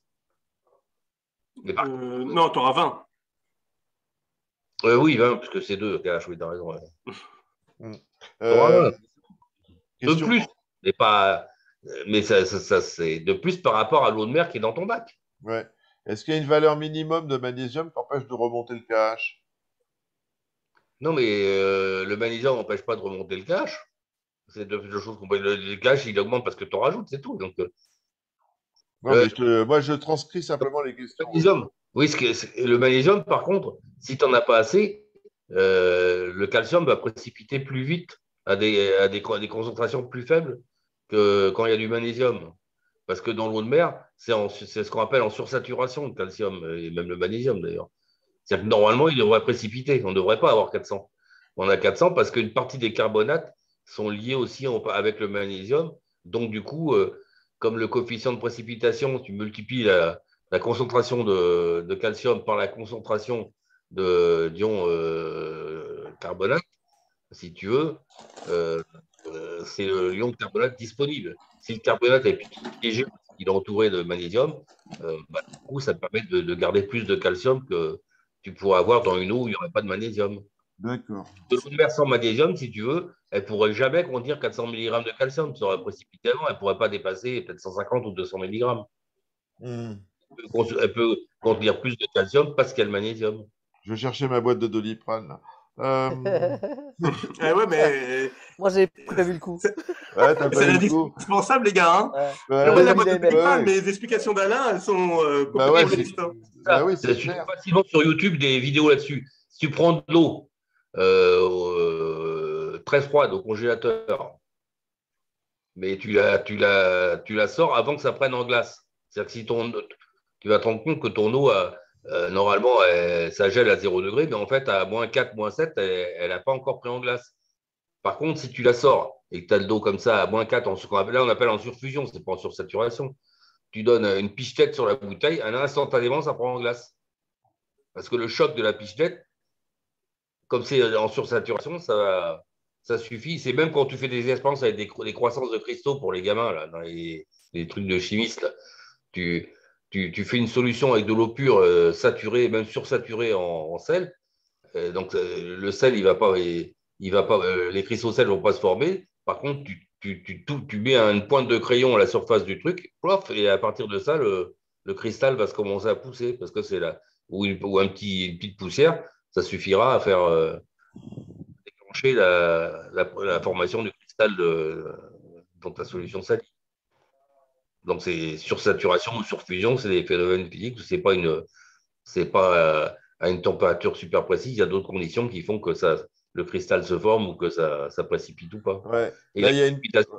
elle est liée, euh, la vitesse de précipitation n'est pas constante, c'est-à-dire que, en fait, dans l'eau de mer, le calcium, il précipite sans arrêt, mais avec les paramètres de l'eau de mer, à une vitesse très, très lente. Et quand, tu augmentes soit le KH, soit le calcium, c'est cette vitesse qui va augmenter jusqu'au moment où cette vitesse est suffisante pour que tu vois précipiter carrément. Voilà. Mmh. Là, il y a une question qui est, je dirais, incongrue. Euh, que pensez-vous d'un démarrage de bac sans cycle de l'azote? Je m'explique, j'ai vu aux États-Unis, ils démarrent leur bac eau neuve, roche inerte et coraux directement. Il faut savoir parce que, le corail s'en fout. Le corail s'en fout, mais il faut savoir qu'il y a toujours un cycle de l'azote. Euh, oui. Euh, les gens s'imaginent, les gens s'imaginent, ah bah ça y est, j'ai fait mon cycle, machin. Mais c'est pas euh, le cycle de l'azote, il doit être dans le bac tout le temps, autrement, ça peut ah, pas ça marche pas. Hein. Non, mais par contre, le côté intéressant là-dedans, c'est de se dire qu'effectivement, le corail, il se fout d'avoir de l'ammonium ou de l'ammoniac, toi. Enfin, ah, des nitrites. Ou... Il y en a besoin pour le pomper. Donc, euh, ils sont voilà. aux azotes organiques. Donc, euh. Donc euh, quand on parle du cycle de l'azote, c'est surtout en fait pour les poissons ou pour tous les organismes avec du sang, en fait. Parce que nitrite et, ammoniac, c'est toxique pour les poissons, tout simplement. C'est ça. Pour tous les animaux qui ont l'hémoglobine, en fait. Je crois que c'est ça le côté important, non? C'est la présence d'hémoglobine qui. L'ammoniac, c'est toxique pour tout. Ça dépend de la C'est pas lié à l'hémoglobine, ça, c'est toxique. D'accord. Mais sauf sauf si, si l'organisme est capable de l'utiliser. Donc le corail, mais maintenant le corail, si tu as trop d'ammoniac, il n'aura pas le temps d'utiliser pour le transformer en, acide aminé assez vite, donc ça pourra le tuer quand même. Hein. Euh, l'ammoniac, c'est toxique à de très faible dose. Hein. Et surtout en eau de mer, parce que la toxicité dépend du pH. Parce que ce qui est toxique, c'est l'ammoniac gazeux, c'est pas le NH4 le plus toxique. Et comme le, quand, le, pH augmente, l'équilibre NH3 NH4 se, se, déporte vers le NH3. À dose égale, l'ammoniac est beaucoup plus toxique dans une eau alcaline que dans une eau acide. C'est pour ça qu'on vous préconise de ne pas faire de goutte à goutte sur des poissons qui vont voyager très longtemps pour les acclimater. Euh, ouais, ou alors il faut justement acidifier la faute pendant que tu fais le goutte à goutte pour ne pas l'empêcher de remonter. C'est ça, mais le problème c'est que tu as dilué 3-4 à la maison, là tu arrêtes de mettre euh, d'acidifier pour remonter le pH, mais au départ tu dilues l'ammoniac à pH bas, pour qu'il n'y ait pas que soit toxique. Quand il est assez dilué, tu peux monter le pH. Mais voilà. Oui, c'est ça. Mais bon, là, 99% des récifalistes ne, le font pas, ils ne le savent pas non plus. Et c'est pour ça que. Mais le pire, c'est que la variation de pH, le poisson, il s'en fout à une seule condition c'est que l'eau soit dessalée. Parce qu'en fait, le poisson, il est déshydraté pendant le transport. Donc, euh, si en plus tu fais, as la variation de pH qui, modifie son rythme respiratoire, il va se déshydrater encore plus. Parce que plus le, poisson a besoin de, ventiler pour l'oxygène, si tu veux, plus il ventile euh, pour se déshydrater, parce que l'eau bien était trop salée par rapport à son sang. Ok, donc les poissons ont bien soif. Quand j'avais des poissons qui arrivaient mal, je faisais pas un goutte à goutte à la con pendant trois plombes. Je prenais de l'eau dessalée et je mettais directement le poisson dedans pour qu'il se réhydrate. Quand tu dis dessalé, c'est quelle densité? Ah bah euh, j'ai vu euh, euh, que mes patrons n'étaient pas, toujours d'accord, ils flippaient. Donc souvent je, me contentais de 1020. Mais en fait, il fallait le mieux c'était de descendre à 1016. Ok. L'acclimatation pour les poissons qui ont voyagé en VPC, c'est 24 heures. Donc c'est là on parle. Plus droit Et je l'ai vu ça. Alors là, c'est j'ai vu ça avec des flaves. J'avais appelé le fournisseur, d'ailleurs, c'était euh, une gueule, parce que les soit ils étaient arrivés a priori corrects, quoi. Ils étaient, un peu maigrichons, comme souvent chez les flammes. De toute façon, c'est comme ça. mais surtout, tu le vois quand le poisson est déshydraté, parce qu'en fait, il ne veut pas manger. Donc, ils étaient à 1020, ou peut-être un peu plus, 1021, puis, toi, puis le lendemain, merde, ils ne mangent pas, parce que normalement, euh, j'avais des granulés que d'habitude, ils en avaient bien, toi. Et en fait, donc, euh, du coup, comme après, j'ai retrouvé sur le flanc, j'ai dit merde, c'est un truc qui ne va pas, ils sont vraiment déshydratés. Je les ai passés à 1016 et du coup, ils se sont mis à manger. Parce qu'il fallait descendre à 1016 pour qu'ils se réhydratent. C'était passé à 1020. Et c'était trop déshydraté, il fallait faire un truc de plus. Super intéressant ça. Un poisson qui ne mange pas, je te dis, il faut le savoir, ça c'est. Les trois quarts du temps, c'est pas normal qu'un poisson ne mange pas. Il ne mange pas, c'est souvent qu'il est déshydraté. C'est le stress de la déshydratation qui, qui lui coupe l'appétit. Ok, et donc si un gars qui reçoit, en fait, un copain, là, il reçoit un arrivage euh, de poissons euh, en VPC, qu'est-ce qu'il doit faire pour les acclimater? Il prend le sac et il fait quoi? Euh, bah, En théorie, il faudrait déjà mesurer la salinité dans le sac. Parce que si, si la salinité est élevée, tu te dis que là, il y a des risques qu'il soit déshydraté. Et dans ce cas-là, il faut faire un goutte à goutte avec de l'eau très dessalée pour qu'il se, pour que se réhydrate pendant la. Alors, à la limite, tu, tu, fais un goutte à goutte avec de l'eau euh, moitié eau de mer, moitié eau douce. Et tu risques pas une remontée du pH et donc en fait une transformation du NH4 en NH, je ne sais plus quoi là, et par conséquent une toxicité au niveau de l'ammoniac? En faisant un goutte à goutte comme ça? Euh, Justement, si, le, si tu remontes avec de l'eau dessalée, tu as moins de cage, donc le pH il remontera pas beaucoup. Si, si ton eau, euh, de l'eau de mer, euh, si, tu la dilues de boîtier, elle a un pH de 3,5 au lieu de 7. Au lieu d'être à 8,1, elle sera un pH de 7,2. Hein. Donc, en fait, quand quelqu'un reçoit, un poisson. une, fois que, tu as bien dilué le poisson, que le poisson s'est réhydraté, que tu as multiplié par 10 le volume d'eau, à la limite, tu enlèves cette eau-là et tu recommences à l'eau de goutte à goutte. Donc, tu enlèves l'eau avec l'ammoniaque s'il y en a. Tu enlèves 90% de cette eau-là et tu recommences un goutte à goutte avec l'eau de ton bac, du coup. C'est un peu plus long. Ça tout doucement, ouais. Tu vas ton poisson. Et on va passer par un bac de quarantaine. Ça veut dire que les, les moi, je, vois souvent les gens, qu'est-ce qu'ils font? Ils acclimatent leur poisson au goutte à goutte. Mais ils acclimatent en petit à petit, changeant l'eau du sac par l'eau du bac. Et c'est une connerie, parce que si, si l'eau du sac est moins salée que l'eau du bac, tu vas encore plus déshydrater le poisson, si j'ai bien compris. Oui, mais non, mais ça dépend, parce que si l'eau est vraiment dessalée, le poisson ne sera pas déshydraté. Donc là, ce n'est pas très grave. Ouais, mais imaginons, tu reçois un poisson. point de départ. Imaginons que tu, reçois, un poisson. les, gens ne dessalent pas. Je sais, moi, j'ai discuté, euh, les grossistes, certains le savent. J'avais discuté avec une Guyane, David, il connaît ça très bien. Et on était d'accord tous les deux. Mais il me disait, moi, je ne peux pas envoyer mes poissons en 1016. Parce que les, les clients me disent, à peu près, comment veux-tu que je les acclimate? Ils sont à 1016, quand je vais passer à 1024, ils vont crever. Parce qu'ils n'ont rien compris au film. Mais c'est le client. Tu ne peux pas lui dire qu'il est con. Comme la température, quand ça arrive froid, les gens ils râlent souvent, mais ça voyage mieux quand la température est basse. Ça, c'est comme le Covid, on dit des trucs.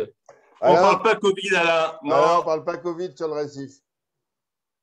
Bah oui, c'est les masques. Les masques, tout le monde sait que ça ne sert à rien dehors, merde. Donc, il faut arrêter.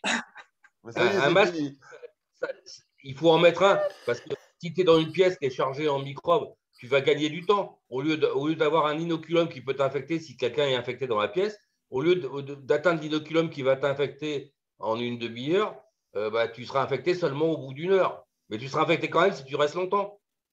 Donc, il faut aérer. Donc, faut, il faut mettre de l'ozone pour flinguer le virus si on veut le faire. Donc, l'histoire de Basque, c'est pas, pas ça marche, ça marche pas. Ça marche, mais très peu. Donc, c'est mieux que rien, mais dehors, ça sert strictement rien, c'est de la foutaise. Bon, d'accord. On est d'accord, mais on est dans le récifal. Le petit voyage long pour un poisson. Alain, calme-toi. Alain, calme-toi, calme-toi. Moi, je, je, je, tiens à sensibiliser. Euh, le, fait de ne pas le faire, ça fait crever les taille. Ouais, je, je tenais à sensibiliser un peu. Et euh. eh bien, à un moment donné, il faut le dire quand c'est une connerie. C'est tout. Bon, Alain. Voilà, moi, je voulais Alain, sensibiliser. On, est, voilà, on, a, on a compris.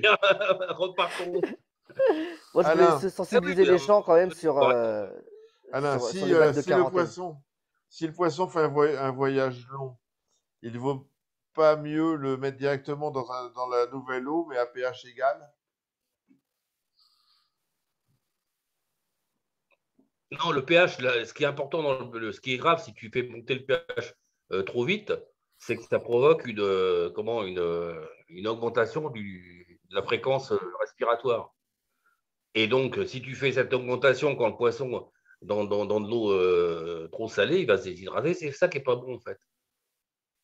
Mais, donc, euh, mais le pH, euh, en soi, c'est pas si. parce que c'est vrai que si, si tu le fais, si tu le fais, si tu le fais dans l'eau désalée, si, si la variation n'est pas trop importante, c'est pas gênant. Alors, si tu le fais, effectivement, le pH, il peut être à 6,2, 6,3 dans, dans le sac. Si tu passes à 8 d'un coup, là, c'est dangereux, on est d'accord. c'est pour ça. Si tu le fais avec de l'eau euh, dessalée, le, pH de l'eau dessalée sera à 7, 8. Donc, de toute façon, pendant le goutte à goutte, la variation ne sera pas trop importante. Donc, vraiment, le conseil que tu donnes, c'est dessaler l'eau. Donc, en gros, mettre, euh, faire à moitié-moitié au du bac, eau osmosée. Solution, ce qu'on fait. Mais donc, si, de toute façon, l'autre solution, c'est ce qu'on fait d'ailleurs. C'est que la solution, si par exemple l'eau est pourrie, en plus tu vois que l'eau est trouble, il y a de l'ammoniac dedans, donc le poisson, tu ne vas pas faire un goutte à goutte là-dedans parce que l'ammoniac, de toute façon, il y en a trop, ça va flinguer le poisson quand même. Donc tu peux le mettre directement dans une eau neuve, à condition qu'elle soit dessalée et à condition qu'elle soit un pH proche de l'eau du sac. Donc dans ce cas-là, tu peux même mettre euh, un, petit peu de vinaigre dans la flotte pour baisser le pH ou n'importe quoi qui baisse le pH. Il faut, un pH mètre. Si c'est dessalé, c'est même pas la peine parce que de toute façon, ton pH, il sera quand même autour de 7,6, un truc comme ça. Donc, ce n'est pas, pas au point de 8,3. Si tu passes de, de 6,2 à 8,3, c'est trop, trop fort. Si tu passes de 6,2 à 7,2, c'est pas très grave. C'est un peu le principe pour voir ça aussi. C'est comme quand tu manques d'oxygène. Euh, si tu manques d'oxygène, que tu es resté euh, trois heures dans un, truc où il y a deux fois moins d'oxygène, où on, on, on, met direct à 10 000 mètres d'altitude, là, euh, on ne va pas te mettre de l'oxygène au goutte à goutte. Hein. on va tout de suite te mettre la bonne dose. Donc, tout dépend du contexte. C'est que ça ne marche pas tout seul, le pH. Ça, ça provoque des choses. Donc, si tu compenses les choses, tu empêches les choses que ça provoque de se réaliser, ça, voilà, il y a toute une procédure à faire qui dépend. Donc, tu tiens compte du pH, mais c'est pas non plus, c'est, pas être là à surveiller le pH. Il faut euh, que tous les 10 minutes, ça augmente seulement 0,1 parce que sinon, je vais tuer mes poissons. Vous voyez ce que je veux dire? Ok. Et combien de temps tu le laisses comme ça en acclimatation, goutte à goutte, dans cette eau euh, dessalée? Ah bah, Normalement, tu le vois au comportement du poisson. Dès que, dès que le poisson nage correctement, euh, voilà, donc en général, euh, en 15-20 minutes, ça peut suffire. Ah ouais, c'est court. Si tu prends de l'eau dessalée, si tu, sinon ça prend plus de temps parce que comme ton poisson, et tu ne le réhydrates pas, ah, tu peux faire un goutte à goutte pendant trois plombes, il ne sera toujours pas réhydraté, il fera toujours la gueule au bout de trois heures. Ok, alors, on va dire une heure. Et au bout d'une heure, tu en fais quoi? Si tu n'as pas de bac de quarantaine, tu peux le mettre directement dans le bac? Alors, évidemment, quand tu vas le mettre dans ton bac, l'eau redevient normale. Donc, il risque de se déshydrater. Mais s'il est, si c'est réhydraté, il va remanger tout de suite. Donc, il va se réadapter tout de suite. D'accord. Le danger, c'est de le mettre, pas euh, le mettre dans le bac encore déshydraté. Parce que là, ça va encore s'aggraver. Il est déjà, déjà quand tu le mets dans le bac. Du coup, il ne va pas manger et du coup, il va se comme il ne mange pas, il va, se, il va se déshydrater encore plus et il va crever au bout de trois jours. D'accord. Et tu le passes de l'eau avant de mettre dans le bac. Ça, c'est la priorité. Alain, donc d'abord, première chose, tu l'acclimates au goutte à goutte avec de l'eau déshydratée, allez, on va dire une heure, pour être bien, pour être bien large.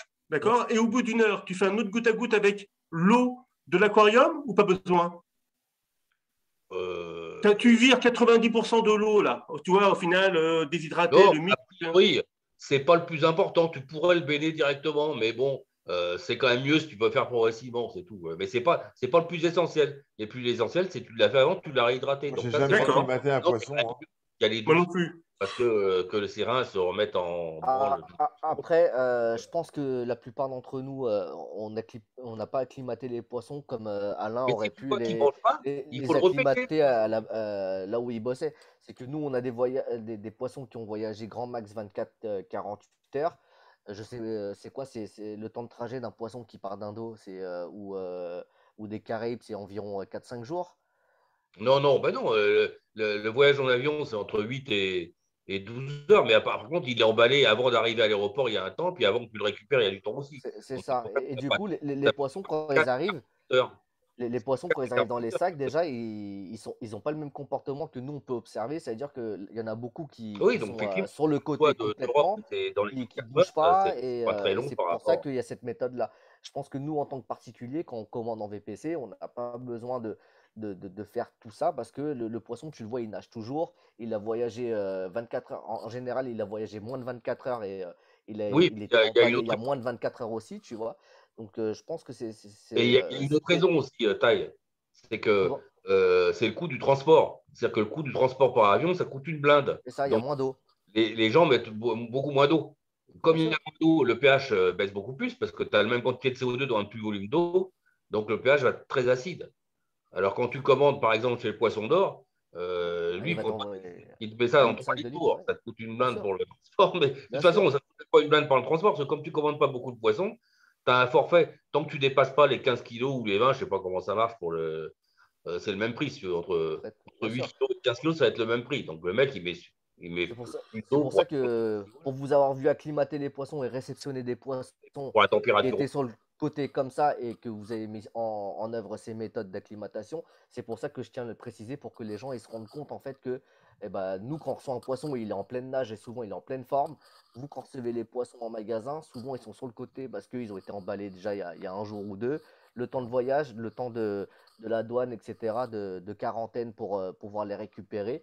Le voyage a été plus long pour ces poissons-là, il y a moins d'eau, donc moins d'inertie, etc. Donc euh, voilà, les animaux, ils n'arrivent pas du tout dans les mêmes conditions. C'est pour ça que euh, toi, tu les réanimes. Moi, j'avais un, une fois, le seul fournisseur que j'ai vu, c'était au Sri Lanka. C'est le seul mec qui envoyait des poissons à 1016. Et ben lui, les, parce qu'au Sri Lanka, tu as beaucoup les naseaux, puis les naseaux sont assez gros. Donc les naseaux, en 95% des cas, ils arrivent sur le flanc. Ils mettent 24 euh, heures à se remettre droit parce qu'ils sont déshydratés. Et ben là, lui, les naseaux, ils étaient tout droit dans le sac, ils ne bougeaient pas.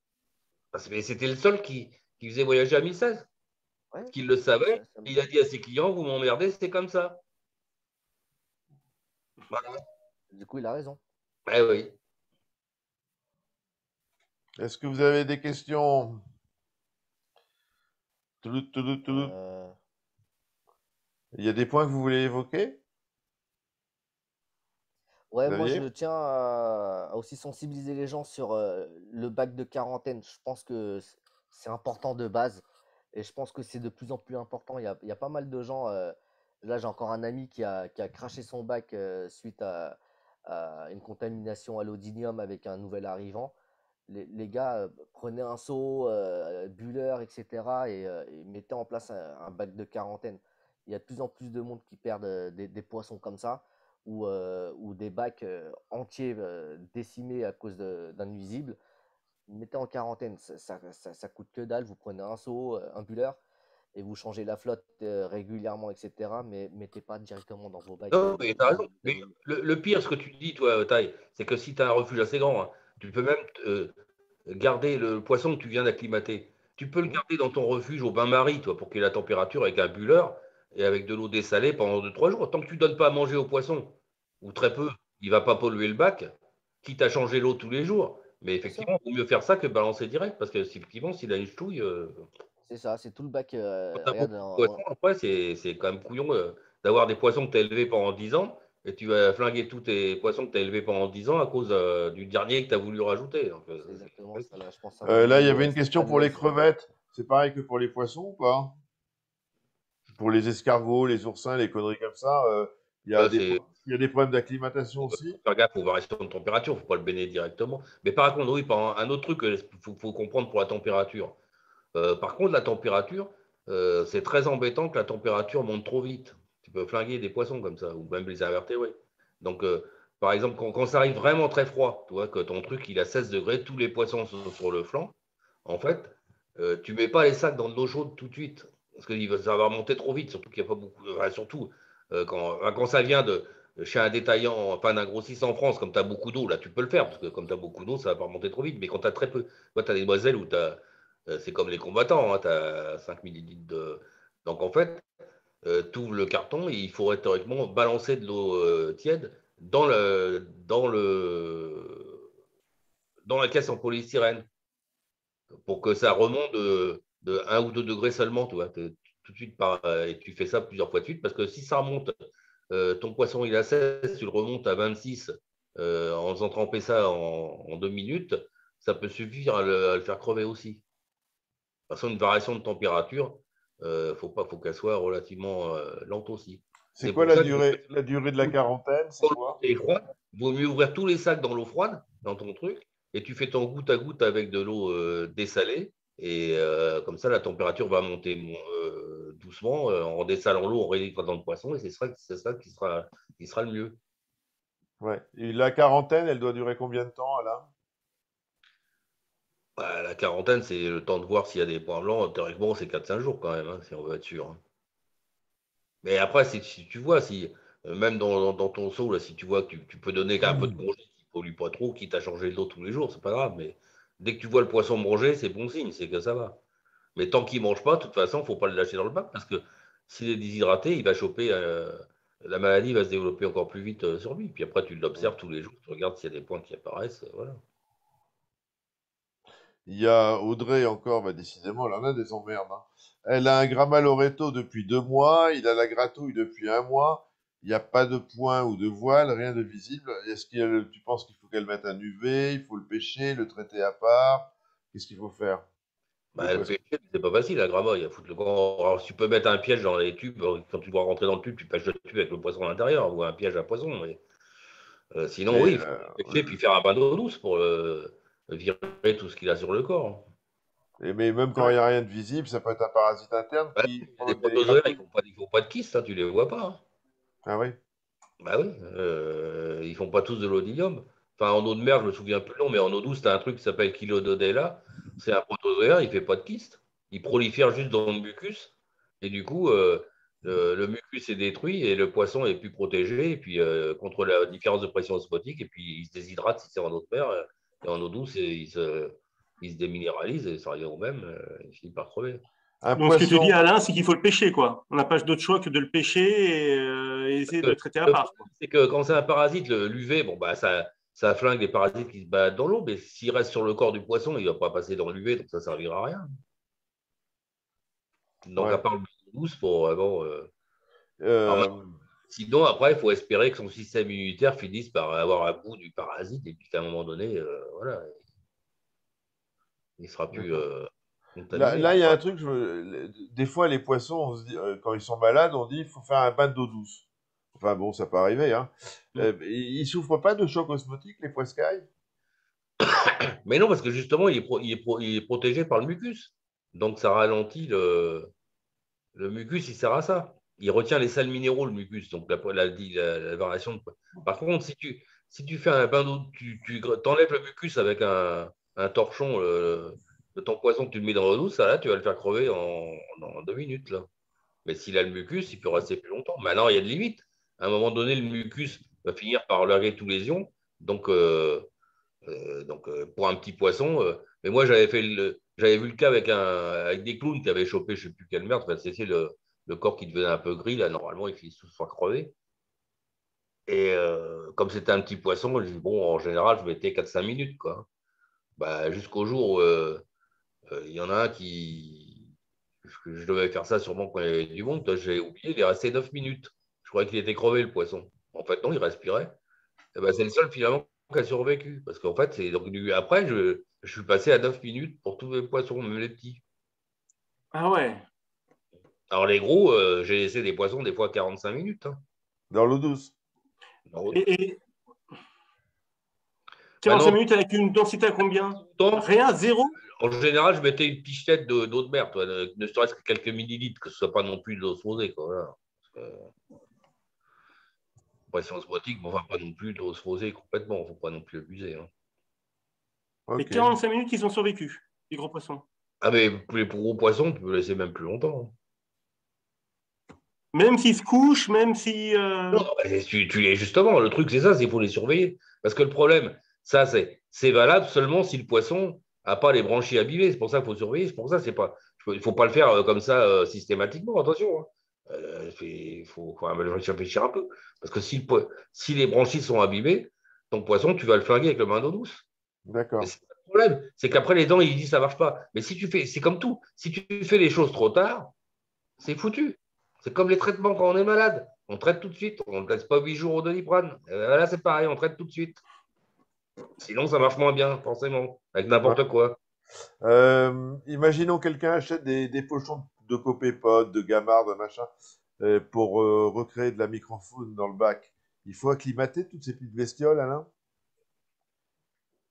Bon, bah, les invertébrés, ça, peut être sensible aux variations de, salinité, parce que voilà, mais sinon, a priori, non, c'est à part la température. il faut acclimater parce que euh, quand même, les invertébrés sont sensibles aux variations brutales de température. Donc, c'est plutôt pour ça. mais voilà, au frais. En un quart d'heure, pas avec le plomb pour acclimater des invertébrés. Quoi, Non, je te parle de copépodes et des machins. Ouais, pour les crevettes, j'avais aidé. j'avais aidé, comment il s'appelait là Zut. Odyssée. Ils recevaient tous les mois du Sri Lanka à peu près 4000 crevettes de, matin. Et euh, ils avaient 10-15% euh, de presque de mortalité. Et justement, eux, ils, faisaient un goutte à goutte. Et ben, je leur dis non, pour les crevettes, euh, tu laisses réchauffer tranquillement, toi, en mettant pareil un peu d'eau tiède. Si c'est pas trop froid, tu peux mettre au bain-marie directement dans les bacs, sinon tu ne fais pas monter trop vite. Et dès que c'est à température, il faut lâcher directement, rapidement, goutte à goutte. Euh, les crevettes s'énervent entre elles, je ne sais pas ce qui se passe, mais en fait, tu as beaucoup plus de pertes si tu fais un goutte à goutte avec les crevettes que si tu les mets euh, euh, au bout de 5 minutes. Dès que, dès que tu as ajusté la température, tu les balances, tu as moins de pertes. J'ai toujours entendu ça aussi. Et moi, mes crevettes, ça a toujours été ouais, température et pouf direct dans le bac sans, sans ah, Si tu mets trop longtemps goutte à goutte, ça merdouille. Apparemment, c'est dû à un stress oxydatif dans la crevette. Un problème de. Il y a une, une enzyme qui s'appelle la superoxyde disputase. Et en fait, même en, aquaculture pour les gambas, il y a un gars qui faisait des, une bouffe avec des extraits de belon antioxydants, où il y a de la SOD, là, la superoxyde disputase pour éviter le stress du Évidemment, là, c'est, euh, tu pensais aussi à ça. oh, bien sûr. Bah, évidemment, oui. Excuse-moi, là. par contre, il y a une question qui, on, qui on, peut, on peut polémiquer un peu, justement, c'est marrant.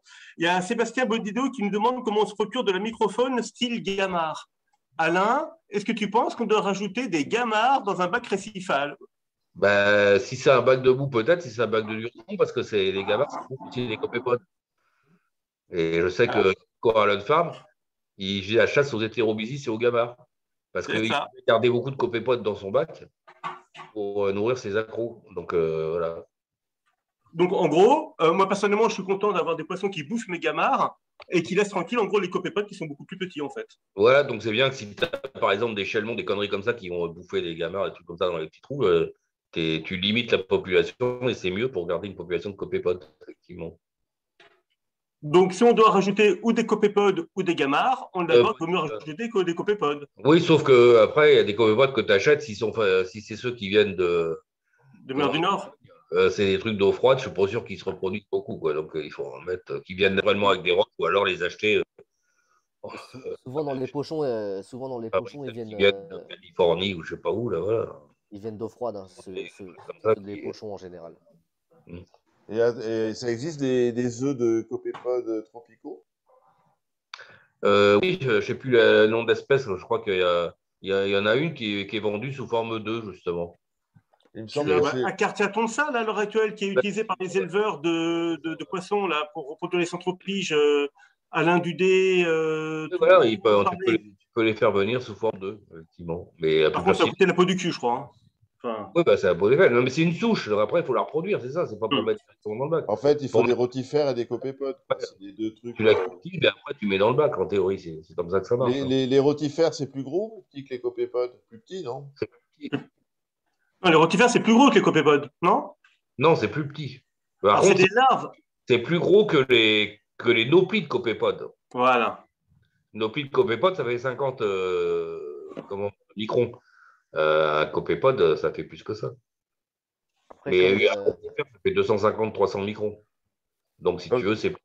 Ah, maintenant, copépode, le plus petit, c'est le Nitocra, je ne sais plus comment, là, euh, qui lui est petit, il fait 300 microns adultes, copépode. On ne trouve pas partout. Nitocra, ça s'écrit N-I-T-O-K-R-A. Je ne me rappelle plus du nom d'espèce, enfin, c'est Nitocra quelque chose. Ça, c'est embêtant. Je ne me rappelle pas du nom de l'espèce. Parce que... Tony qui se balade, donc euh, en élevage de poissons, ça pourrait être pas mal, mais bon, c'est difficile à trouver. Parce que la, nana qui avait trouvé ça, elle voulait le vendre. Euh, elle avait une sorte de brevet, c'est-à-dire que tu avais le droit de lui acheter, mais tu t'engageais par écrit à ne pas le vendre à quelqu'un d'autre. C'est pas l'écurie marine, là, ceux qui élèvent des hippocampes, euh, qui, qui, ont des, des, des, élevages de copépodes aussi un peu tropicaux. Ah. Ils ont de la misis, ils ont des misis, ça je sais. Je n'ai pas, regardé depuis longtemps, mais en Allemagne, toi, tu trouves des gens, des gens un peu pointus qui vendent des espèces de copépodes un peu sympas. Il me semble, ouais, il me semble. Ouais. Après, je vais dire un truc. Moi, quand j'ai acheté une bouture chez Fab Corail, là, il y a deux mois, bah, sur le sol, quand il y avait des copépodes. Hein. Oui, déjà. Euh, si tu achètes quelqu'un qui les cultive et qui a de la microphone dans son bac, tu la récupères quand tu achètes la bouture, de toute façon. C'est hein. ça. Et un truc tout con, Recifatum également, je crois qu'ils vendent des, algues en fait issues de leur refuge, de leur bac euh, qui tournent super bien. Hein. donc, euh, moi, j'aurais aucune crainte. Je sais qu'il n'y aurait pas de parasites chez eux et je pense que c'est rempli de microphones intéressantes. Hein. Oui, bien sûr. C'est la meilleure solution, c'est prendre de. C'est ça, il faut bien vérifier que la kétomorpha elle soit vraiment euh, dépourvue de parasites. Quoi. Ça va tellement vite te choper des planaires ou, ou je sais pas moi, des, des, des œufs de les œufs de quelque chose de nuisible, euh, c'est compliqué. Mais euh, en effet, Récifatome, ça a l'air complètement, euh, complètement ouais, ouais, ouais. clean de chez clean. Quoi. Ça. moi, je l'aurais bouffé leur keto, sans problème. Là, là, il y, a Maël, y a Maël qui dit que c'est Aquacopa en Allemagne qui a des, des trucs. Oui, je crois. Ça me dit quelque chose, ça. Ouais. Euh, Tidal Garden n'a pas non plus les amphipodes car il ferait des nids de mucus qui piègent les sédiments. Ouais, je suis pas sûr. Le, Ils ne confondent pas avec les verres euh, spaghetti, là? Oui, c'est plutôt des verres. Ça pose un gros problème, en fait, au niveau euh, aux États-Unis, notamment, a priori. C'est plutôt les mollusques, hein, on est mucus, pas les crustacés. Hein. Hum. Ou les vers, effectivement, les mollusques et les vers. Il y a un ver, là, qui, c'est un nom aux États-Unis, a priori, ils en sont remplis. Quoi. C'est un ver qui a un squelette euh, calcaire, quoi, en fait, en gros, a priori. Je ne sais plus comment ça s'appelle. Qui, est, qui s'accroche, en fait, au rocher et puis il y a une espèce de. Alors, je ne sais pas si c'est un verre ou une sorte d'escargot, mais qui aurait des filaments euh, dégueulasses. Quoi. Enfin, ça a un nom aux États-Unis, je ne sais plus comment ça s'appelle. Euh, c'est peut-être le cacahuète, non? Mmh, Je crois pas. Non, non, un truc comme ça, ça fait un, filament qui peut faire 30-40 cm. Hein, c'est pas les vermets? Ça, ça, capture des trucs dans plein eau. C'est un truc... Vermitaïde. C'est les vermets qui font ça. Effectivement, c'est les vermitaïdes, de, le nom scientifique. Ouais, bah, les vermets, c'est un tout petit truc et un grand filament gluant qui. Ok. Qui, se balade partout, qui colle les, particules qui se baladent dans l'eau. D'ailleurs, est-ce que les filaments de vermet, c'est toxique pour les coraux? Bah, Je crois que c'est pas positif en tout cas. Enfin, les mecs, ils essaient souvent de les détruire. Il y avait eu la question euh, sur un post sur le groupe. Alain, tu as une idée là-dessus, toi? Non, je sais pas, il faudrait que je me renseigne du coup. J'ai pas. Bah, moi, j'en ai eu quelques fois dans les bacs, hein, mais j'en ai jamais eu vu de prolifération. J'en ai déjà vu, effectivement, dans, la piscine. Ouais, fois. Mais c'était à un ou deux endroits, tu vois, tu avais un filament qui se baladait comme ça, j'ai trouvé ça bizarre. Mais euh, ouais, j'ai jamais été envahi par ce truc-là. Mais en fait, j'avais vu une fois sur la vitre, c'est-à-dire que sur la vitre, ça fait, euh, je sais pas, euh, un petit truc de 5 mm, un petit 10 un peu gluant de 5 mm, et ça sort de ce truc-là. Hmm. Pour la Valonia, pour répondre à la question de Maël, sinon la Valonia, dans 60 litres, euh, dans 60 litres comment l'éradiquer? Euh, Moi, je partirais sur, sur un coup de karcher direct. Hein. Ouais, enfin, mais. Sur, 60 litres, tu vas pas avoir une. S'il y a des crabes, là, si tu. Hein. Euh, le problème des, crabes, c'est qu'ils ont du mal à les bouffer quand la, la ballonia est bien un peu grosse, tu veux. Donc, il faut la péter, quoi, en fait, pour, avec un. Et là, dans ce cas-là, les crabes, ils arrivent à la manger. Tu vois, j'en parlais avec euh, Jack Adams quand, quand j'ai eu le, souci sur une vidéo avec euh, les Aptasia, là. Et je lui ai demandé, t'en penses quoi du Karcher? Et il m'a répondu, eh ben, le Karcher, tu peux y aller. Nous, c'est ce qu'on fait ici. Les, les, bactéries, elles sont tellement ancré profondément dans la roche que un coup de karcher pour virer les, les parasites et, euh, et, tu remets dans le bac, ça ne pose pas de souci. Et euh, en effet, pour l'avoir fait, il euh, n'y a, pas eu de, y a pas eu de dérive NO2, ammoniac ou quoi que ce soit, tu vois. Ah oui. Et, et, on avait fait la, quasiment l'intégralité du décor. Donc, sort peut-être par sécurité une pierre et passe-la au karcher, remets-la sur le décor et ainsi de suite, et ainsi de suite. Après, je trouve que moi, personnellement, j'ai eu une fois des, des Valonia, il y a une dizaine d'années, euh, j'ai mis du Mitrax, ça a été radical. Hein. Je, je, j'en ai mis trois sur un bac de 400 litres, ça avait suffi. Hein.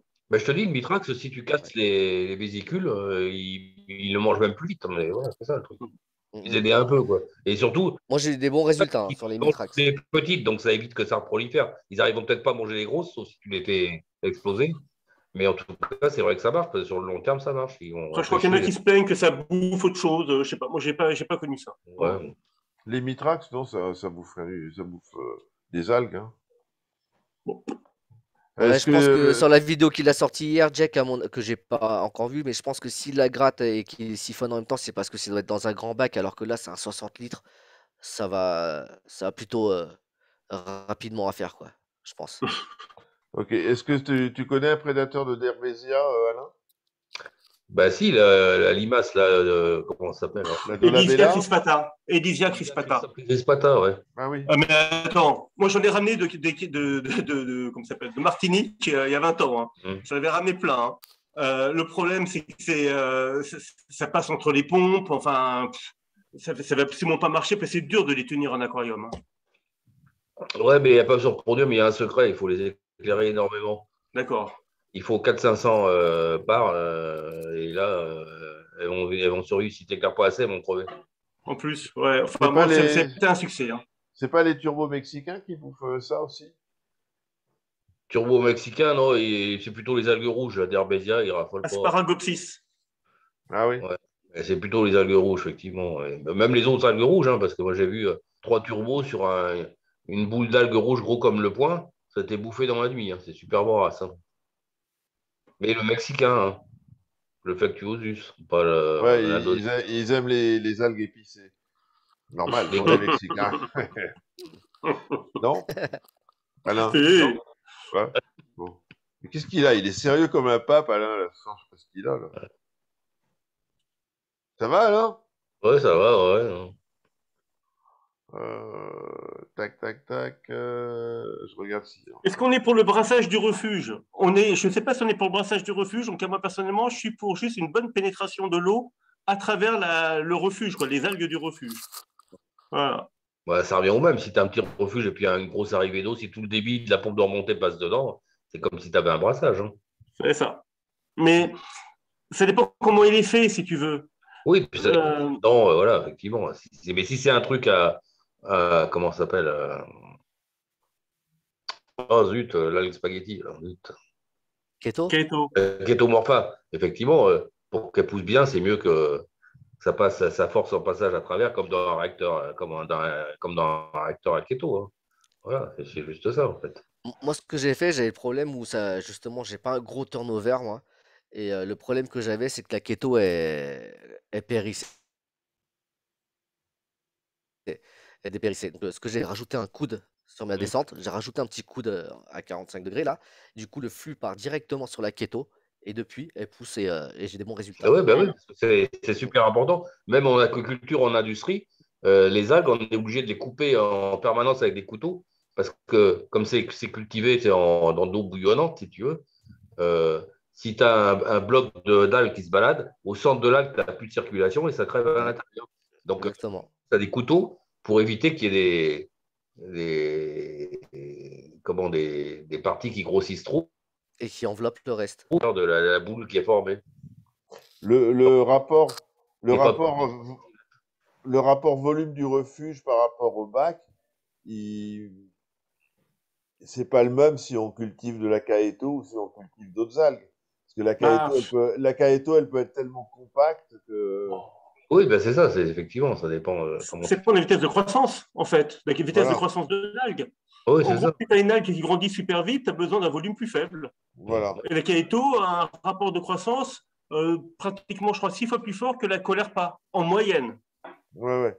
D'ailleurs, pour ça, je vous conseille de regarder l'entretien qu'on avait fait avec Xavier et de lire son article dans Zebra au Mag, euh, où il explique tout ça, la consommation des nutriments par les algues et compagnie. N'est-il point, euh, Xavier Il faudra que tu me dédicaces le Zebra au Mag, d'ailleurs. Au minimum.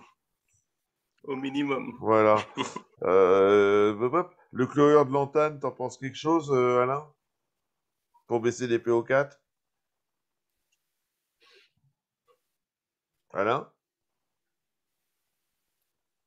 Alain? il, a, bugué. Ah, Alain bug.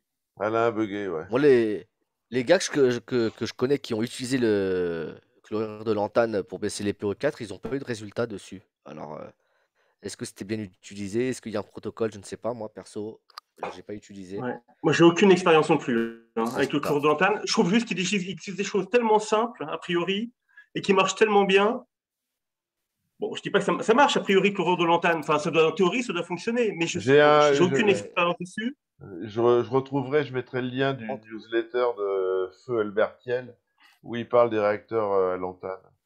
en tout cas, moi, et, les, les deux, et sur le groupe, il y a des gens qui utilisent du lantane, je crois. Euh, il y avait, euh, il me semble bien. Je crois qu'il faut être précautionneux quand même, non? Enfin, avec le lantane. Sinon, bah, c'est une certaine toxicité. Je, trouve qu'il y a plus simple que le lantane, quoi. Voilà quand on a des PO4, de mettre une résine, c'est quand même plus facile que de, que de faire un réacteur à lantane. Euh, Et puis je pense qu'on peut aussi tout simplement jouer déjà sur le rapport nitrate-phosphate de la nourriture. Hein. Ça, c'est tout con, mais qu'est-ce que ça aide? Si tu mets une nourriture plus riche en nitrate qu'en phosphate, eh ben, tu as moins le problème de phosphate aussi. Hein. Et d'ailleurs, tu en parles euh, sur l'entretien que nous avions fait et dans l'article de Zebra Mag. Euh. Ouais, mais parce que je trouve que toi, c'est au lieu de rentrer dans des choses compliquées, on peut faire des choses simplement. Et souvent, les choses qui sont simples marchent beaucoup mieux. C'est. Moi, j'avais des gros, gros, gros problèmes de phosphate jusqu'à ce que, en fait, j'ai cherché partout les, les, soucis. J'ai changé de décor, j'ai tout refait, euh, j'ai réinjecté du phyto. Et en fait, la base tout con, c'était la nourriture. Non, mais j'y croyais tellement pas que c'était la hein? nourriture. Mais ah bah la, seule source de phosphate, c'est la nourriture, hein, de toute façon. Enfin, pas peut-être pas la seule, mais la Après, moi, je me suis dit que c'était pas forcément que. Je pensais pas en, apporter autant que ça dans mon bac. Je pensais que je ne l'exportais pas suffisamment. Mais oui. Tu vois je pensais comme ça, mais en fin de compte, euh, non. Retour au basique. Voilà, j'ai rien inventé et, euh, et voilà. Après, il y a aussi un truc tout con, mais quand on a par exemple pas de nitrate hein, et un peu de phosphate, moi ce que j'utilise, hein, euh, c'est parce que mon bac a plutôt une tendance à avoir zéro nitrate et un petit peu de phosphate, ce que je un petit peu trop de phosphate. J'utilise des acides aminés, c'est-à-dire de la glycine, à une dose de 1 mg par, par litre que je mets 3 à 4 fois par jour, mais à toute petite dose manuellement. Et en fait, la glycine, c'est un acide aminé, donc qui apporte une source de carbone et une source d'azote. Et donc, ça va booster, en fait, en gros, les bactéries qui vont pouvoir puiser, en fait, les phosphates. Et c'est un truc très simple. Il faut faire des microdoses. Il vaut mieux le faire à la main. Régulièrement. Mais régulièrement. Et avec ça, moi, je régule euh, mon taux de, de, phosphate euh, comme je veux, quoi. Enfin, si je veux 0,7, euh, bah voilà, je connais mes doses. Je veux 0,04, allez, j'en mets un peu plus. Enfin, easy, quoi. C'est fou, avec le temps qu'on passe au téléphone, on arrive toujours à découvrir des nouvelles discussions. Euh, Et ça, pour la glycine, c'est Alain. Hein. C'est Alain qui m'avait donné ce, conseil-là. La glycine, c'est un acide aminé qui coûte strictement rien. Euh, il en a parlé plusieurs fois. Il en a parlé plusieurs fois, ouais. Euh, ah, pas de nourriture pendant un mois et demi, pas de baisse, machin. Il est tout à fait possible, Sébastien Anelli, que, que ton décor relargue du phosphate et c'est pour ça que ça baisse pas. Donc, euh, ouais. Pour moi, oui. Donc, il faut, euh, attendre, que le, décor ait fini de relarguer, là, ça se mettra à baisser. Mm. Euh, je vois que ça. Moi, ce que, ce que j'avais fait pour, pour aider à, à relarguer, entre guillemets, à relarguer, tiens, c'est flou, Xavier, le zoom, il s'est pas mis sur ta pochette. c'est que j'avais passé une partie du décor à, l'acide et à l'eau oxygénée, une partie du décor. Et j'ai fait ça tout doucement sur plusieurs mois, des petites parties du décor pour aider justement les, pierres à, s'épurer, en fait, à, les rendre complètement neuves. Ouais, parce que souvent les gens disent ça baisse pas, ça baisse pas, mais il faut savoir que s'ils ont une montée importante de phosphate, autant les NO3, c'est jamais relargué par le décor, autant les phosphates, ils restent piégés dans le décor et sont relargués petit à C'est clair. Et de toute façon, les phosphates, ils viennent bien de quelque part, quoi. Toi, ça, c'est-à-dire que si tu mets pas de nourriture, il y a bien un flux. Ce flux, c'est, c'est, pas la main de Dieu, quoi. Toi, qui amène un truc. Donc, euh, la seule source, euh, si on rajoute rien, c'est, c'est, bah, le décor. C'est le décor. Ouais, tiens, Xavier, tu peux remonter le, tu peux remonter le, tu peux remontrer ta, ta drogue là. Glycine là? Ouais, parce qu'ils n'ont pas bien. Alors ça coûte, je sais pas, ça doit coûter, euh, j'ai 250, combien? 250 ou 50, 500 grammes? Ça doit coûter 10 balles, hein Ouais, remets-le bien, si on, voit pas bien, on voit pas bien. Non. Attends, je vais enlever là le truc, euh, le fond Non, non, t'as rien à enlever, tu te mets bien, vas-y. Attends, Attends, je te mets, je une seconde. Se fait pas. Attends, on va faire un truc, voilà, intervenant, vas-y, là t'es en grand. Tiens. Voilà. Hop. Pure glycine. Attendez. Voilà. Voilà. Et donc ça, tu l'achètes où? Je sais plus. Euh, je chez, c'est la marque NutriPure. Il faut faire une recherche Google. Je sais plus où je l'ai acheté, un truc de diététique ou un truc comme ça. Ça coûte rien. Il faut mettre des petites doses. Donc un truc tout con. Par exemple, moi, sur mon bac, on va dire qu'il fait 400 litres. 400 litres, donc je dois pas rajouter plus d'un milligramme par litre à la fois. Un milligramme par litre, bah, ça fait donc 400 milligrammes. D'accord? Donc c'est une toute petite dose. Donc euh, je, prends en fait un, je dilue une dose euh, de façon à pouvoir rajouter en 1 millilitre de seringue 400 mg.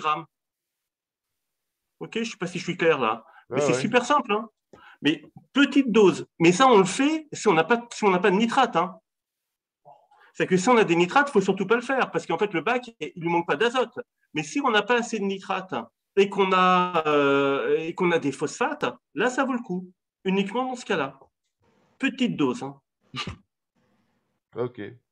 Allez-y mollo, parce que je sais que par Harold, un excellent récifaliste hein, de, l'autre groupe Aquarif, euh, je crois qu'il avait testé ça, il avait eu des problèmes sur ses SPS. Moi, personnellement, j'en ai jamais eu de problème sur mes SPS à cause de ça. Quoi. Enfin, voilà, donc allez-y mollo. Mais je crois qu'il regarde Harold, il, était là tout à l'heure. Salut Harold. Euh, Hello. Il y a Alain qui revient, mais je sais pas où il est. T'es là, Alain? Voilà. Euh, c'est la, vidéo qui ne va pas se. Ouais, attends. Vous m'entendez? Ouais, euh, Tant qu'on t'entend, c'est le principal, Alain. Voilà. Ouais, la liaison est instable quand je mets la vidéo, c'est refusant. Ouais, la vie. Bah, tiens, pour parler de la glycine, Alain. Ouais, j'ai vu. Oui, bah, oui, j'ai vu ça. Hein. Qu'est-ce que tu en penses, toi, de la glycine? Bah, Je te dis, c'est comme le sucre, c'est pour apporter une source d'azote organique. Euh, mais, euh, mais comme c'est organique, il ne faut pas en mettre trop, c'est ça le problème. C'est comme le sucre ou l'alcool, tous ces trucs-là, il faut en mettre à petite dose, c'est tout. Donc un milligramme euh, par litre, c'est bien ça comme dose? Un milligramme, oui, là on, là, on craint rien. Mais si tu commences à faire 400 milligrammes par jour, par litre, ça commence à faire beaucoup. Surtout si tu le mets en une fois. Si tu le mets en plusieurs fois, c'est peut-être différent. En plusieurs fois, c'est jouable, effectivement, mais en, une fois, il ne faut pas dépasser de toute façon un milligramme par litre, voilà. maximum, en une fois. Et donc là, c'est une, bah poudre, c'est une poudre que tu dilues dans de l'eau osmosée C'est ça. Beaucoup d'organismes qui sont capables de l'absorber, euh, tu peux en mettre plus. Mais effectivement, il vaut mieux faire avec une pompe doseuse. D'accord. Et est-ce que tu en, manges aussi pour te mettre en forme? Bah, Écoute, je vais tenter maintenant. Si je crève, c'est ça pas le Alors, connu, les gars. Non, mais on peut, mais non, mais sans blague, hein, acide aminé, non, il n'y a aucun problème. Mais il ne faut pas en prendre trop d'un coup, c'est dangereux. trop tard. c'est dangereux si tu en prends beaucoup d'un coup. Si tu en prends une cuillère à soupe d'un coup, c'est pas bon. Ok. Ça tu prends une cuillère de café. Euh, dans après maintenant. Tu en prends dix fois par jour. Mais, Je deviens euh, musclé là, tu vois. On va voir. Comme manger trop de... Parce que c'est trop métal. Ça passe trop vite dans le sang. Donc, si t'en prends trop d'un coup, c'est pas bon. Pourquoi t'es tout rouge, Xavier Ça me fait rire. Mais non, ça c'est naturel, c'est pas un poison de toute façon. Hein. C'est un des acides aminés qu'on utilise, donc c'est pas un problème. Mais trop, trop d'un coup, c'est pas bon, effectivement. Parce que ça perturbe le microbiote intestinal, c'est pareil, ça favorise le transport de métaux, donc tu peux t'intoxiquer indirectement, en fait. C'est pour ça qu'il ne faut pas prendre trop d'acidité libre en même temps. Ok. Et on est d'accord, on le met à l'un que dans un bac qui est très pauvre en nitrate, mais qui, est, qui a un peu de phosphate. Oui, c'est ça, parce que ça, pour que les phosphates diminuent, il faut que les bactéries aient une source d'azote organique. Enfin, euh, la, seule, la, seule, forme, euh, donc euh, la glycine, c'est une forme d'azote organique. Ou de du carbone.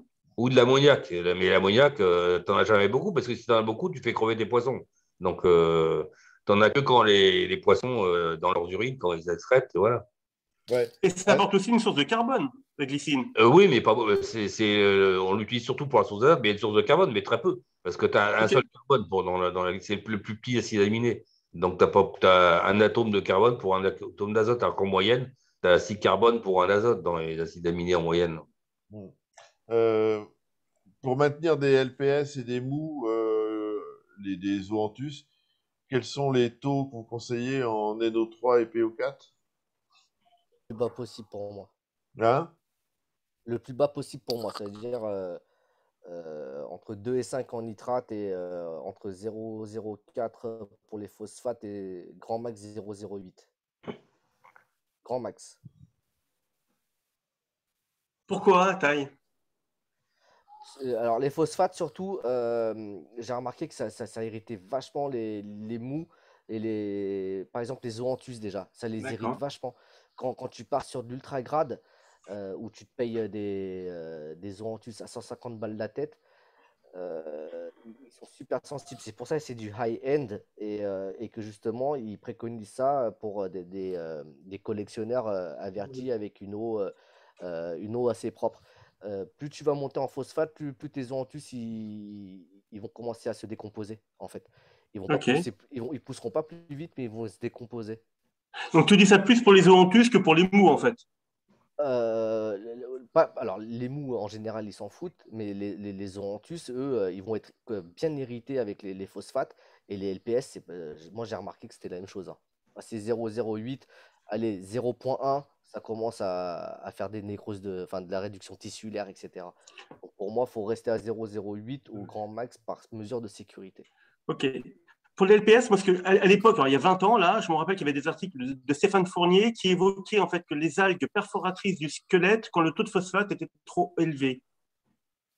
Ok. C'est-à-dire qu'en gros, euh, je ne sais plus comment il s'appelle, je ne me rappelle plus le nom. Donc, c'était des articles au début du récifal, mais des articles euh, qui étaient intéressants, hein, pertinents. Je ne sais pas si Alain, ça te parle, ces algues perforatrices du squelette pour les LPS. Oui, mais le problème des, phosphates, c'est que c'est un engrais pour, euh, pour un peu tout ce qui, ce qui vivant, quoi. Donc, y compris pour des bactéries pathogènes ou des choses comme ça, ou des champignons. Donc euh, quand on a trop, de toute façon, c'est un risque potentiel parce que ça va déséquilibrer même le microbiote. Tu vas favoriser trop de une bactérie ou par rapport à une autre ou un champignon parce que c'est utilisable par un peu tout. Donc, voilà.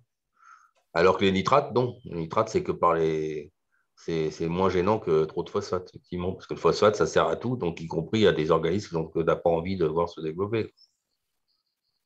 C'est le truc de base qui sert à tout le monde. Donc, euh, effectivement, bien. Bon, bah écoutez. Euh, Alors, par contre, oui, je voulais te demander, toi, as tes orantus, du coup, tu les nourrissais? Euh, Moi, je les nourrissais, je les nourrissais à la poudre. Ouais, et, voilà. et aux acides aminés. Ouais. Mm. Ouais, parce que quand ça, on peut mieux les nourrir qu'effectivement compter sur les nitrates et les phosphates. Ouais, c'est ça. Donc bon, moi je les nourrissais à la poudre, euh, je les nourrissais à la poudre et euh, j'avais de bons résultats avec en termes de, de pouces. Donc euh, après, il faut, faut, surveiller les, les, phosphates. Quoi. Tant que ça ne fait pas monter le taux de phosphate, c'est bon. Par contre, la poudre, tu, utilisais, tu utilises la poudre de chez Elos, le M1 et compagnie? Ouais, ouais. Moi j'ai. comment dire? Je suis sponsorisé Elos, hein, je continue de le dire pour pas que les gens ils débarquent. à surprise. Donc je suis sponsorisé, euh, enfin je suis sponsorisé, je, paye euh, à tarif réduit mes, euh, mes consommations de, bouffe, mais je ne mets plus rien. C'est-à-dire que j'ai des potes qui me filent de la bouffe, je ne mets pas ça dans mon bac.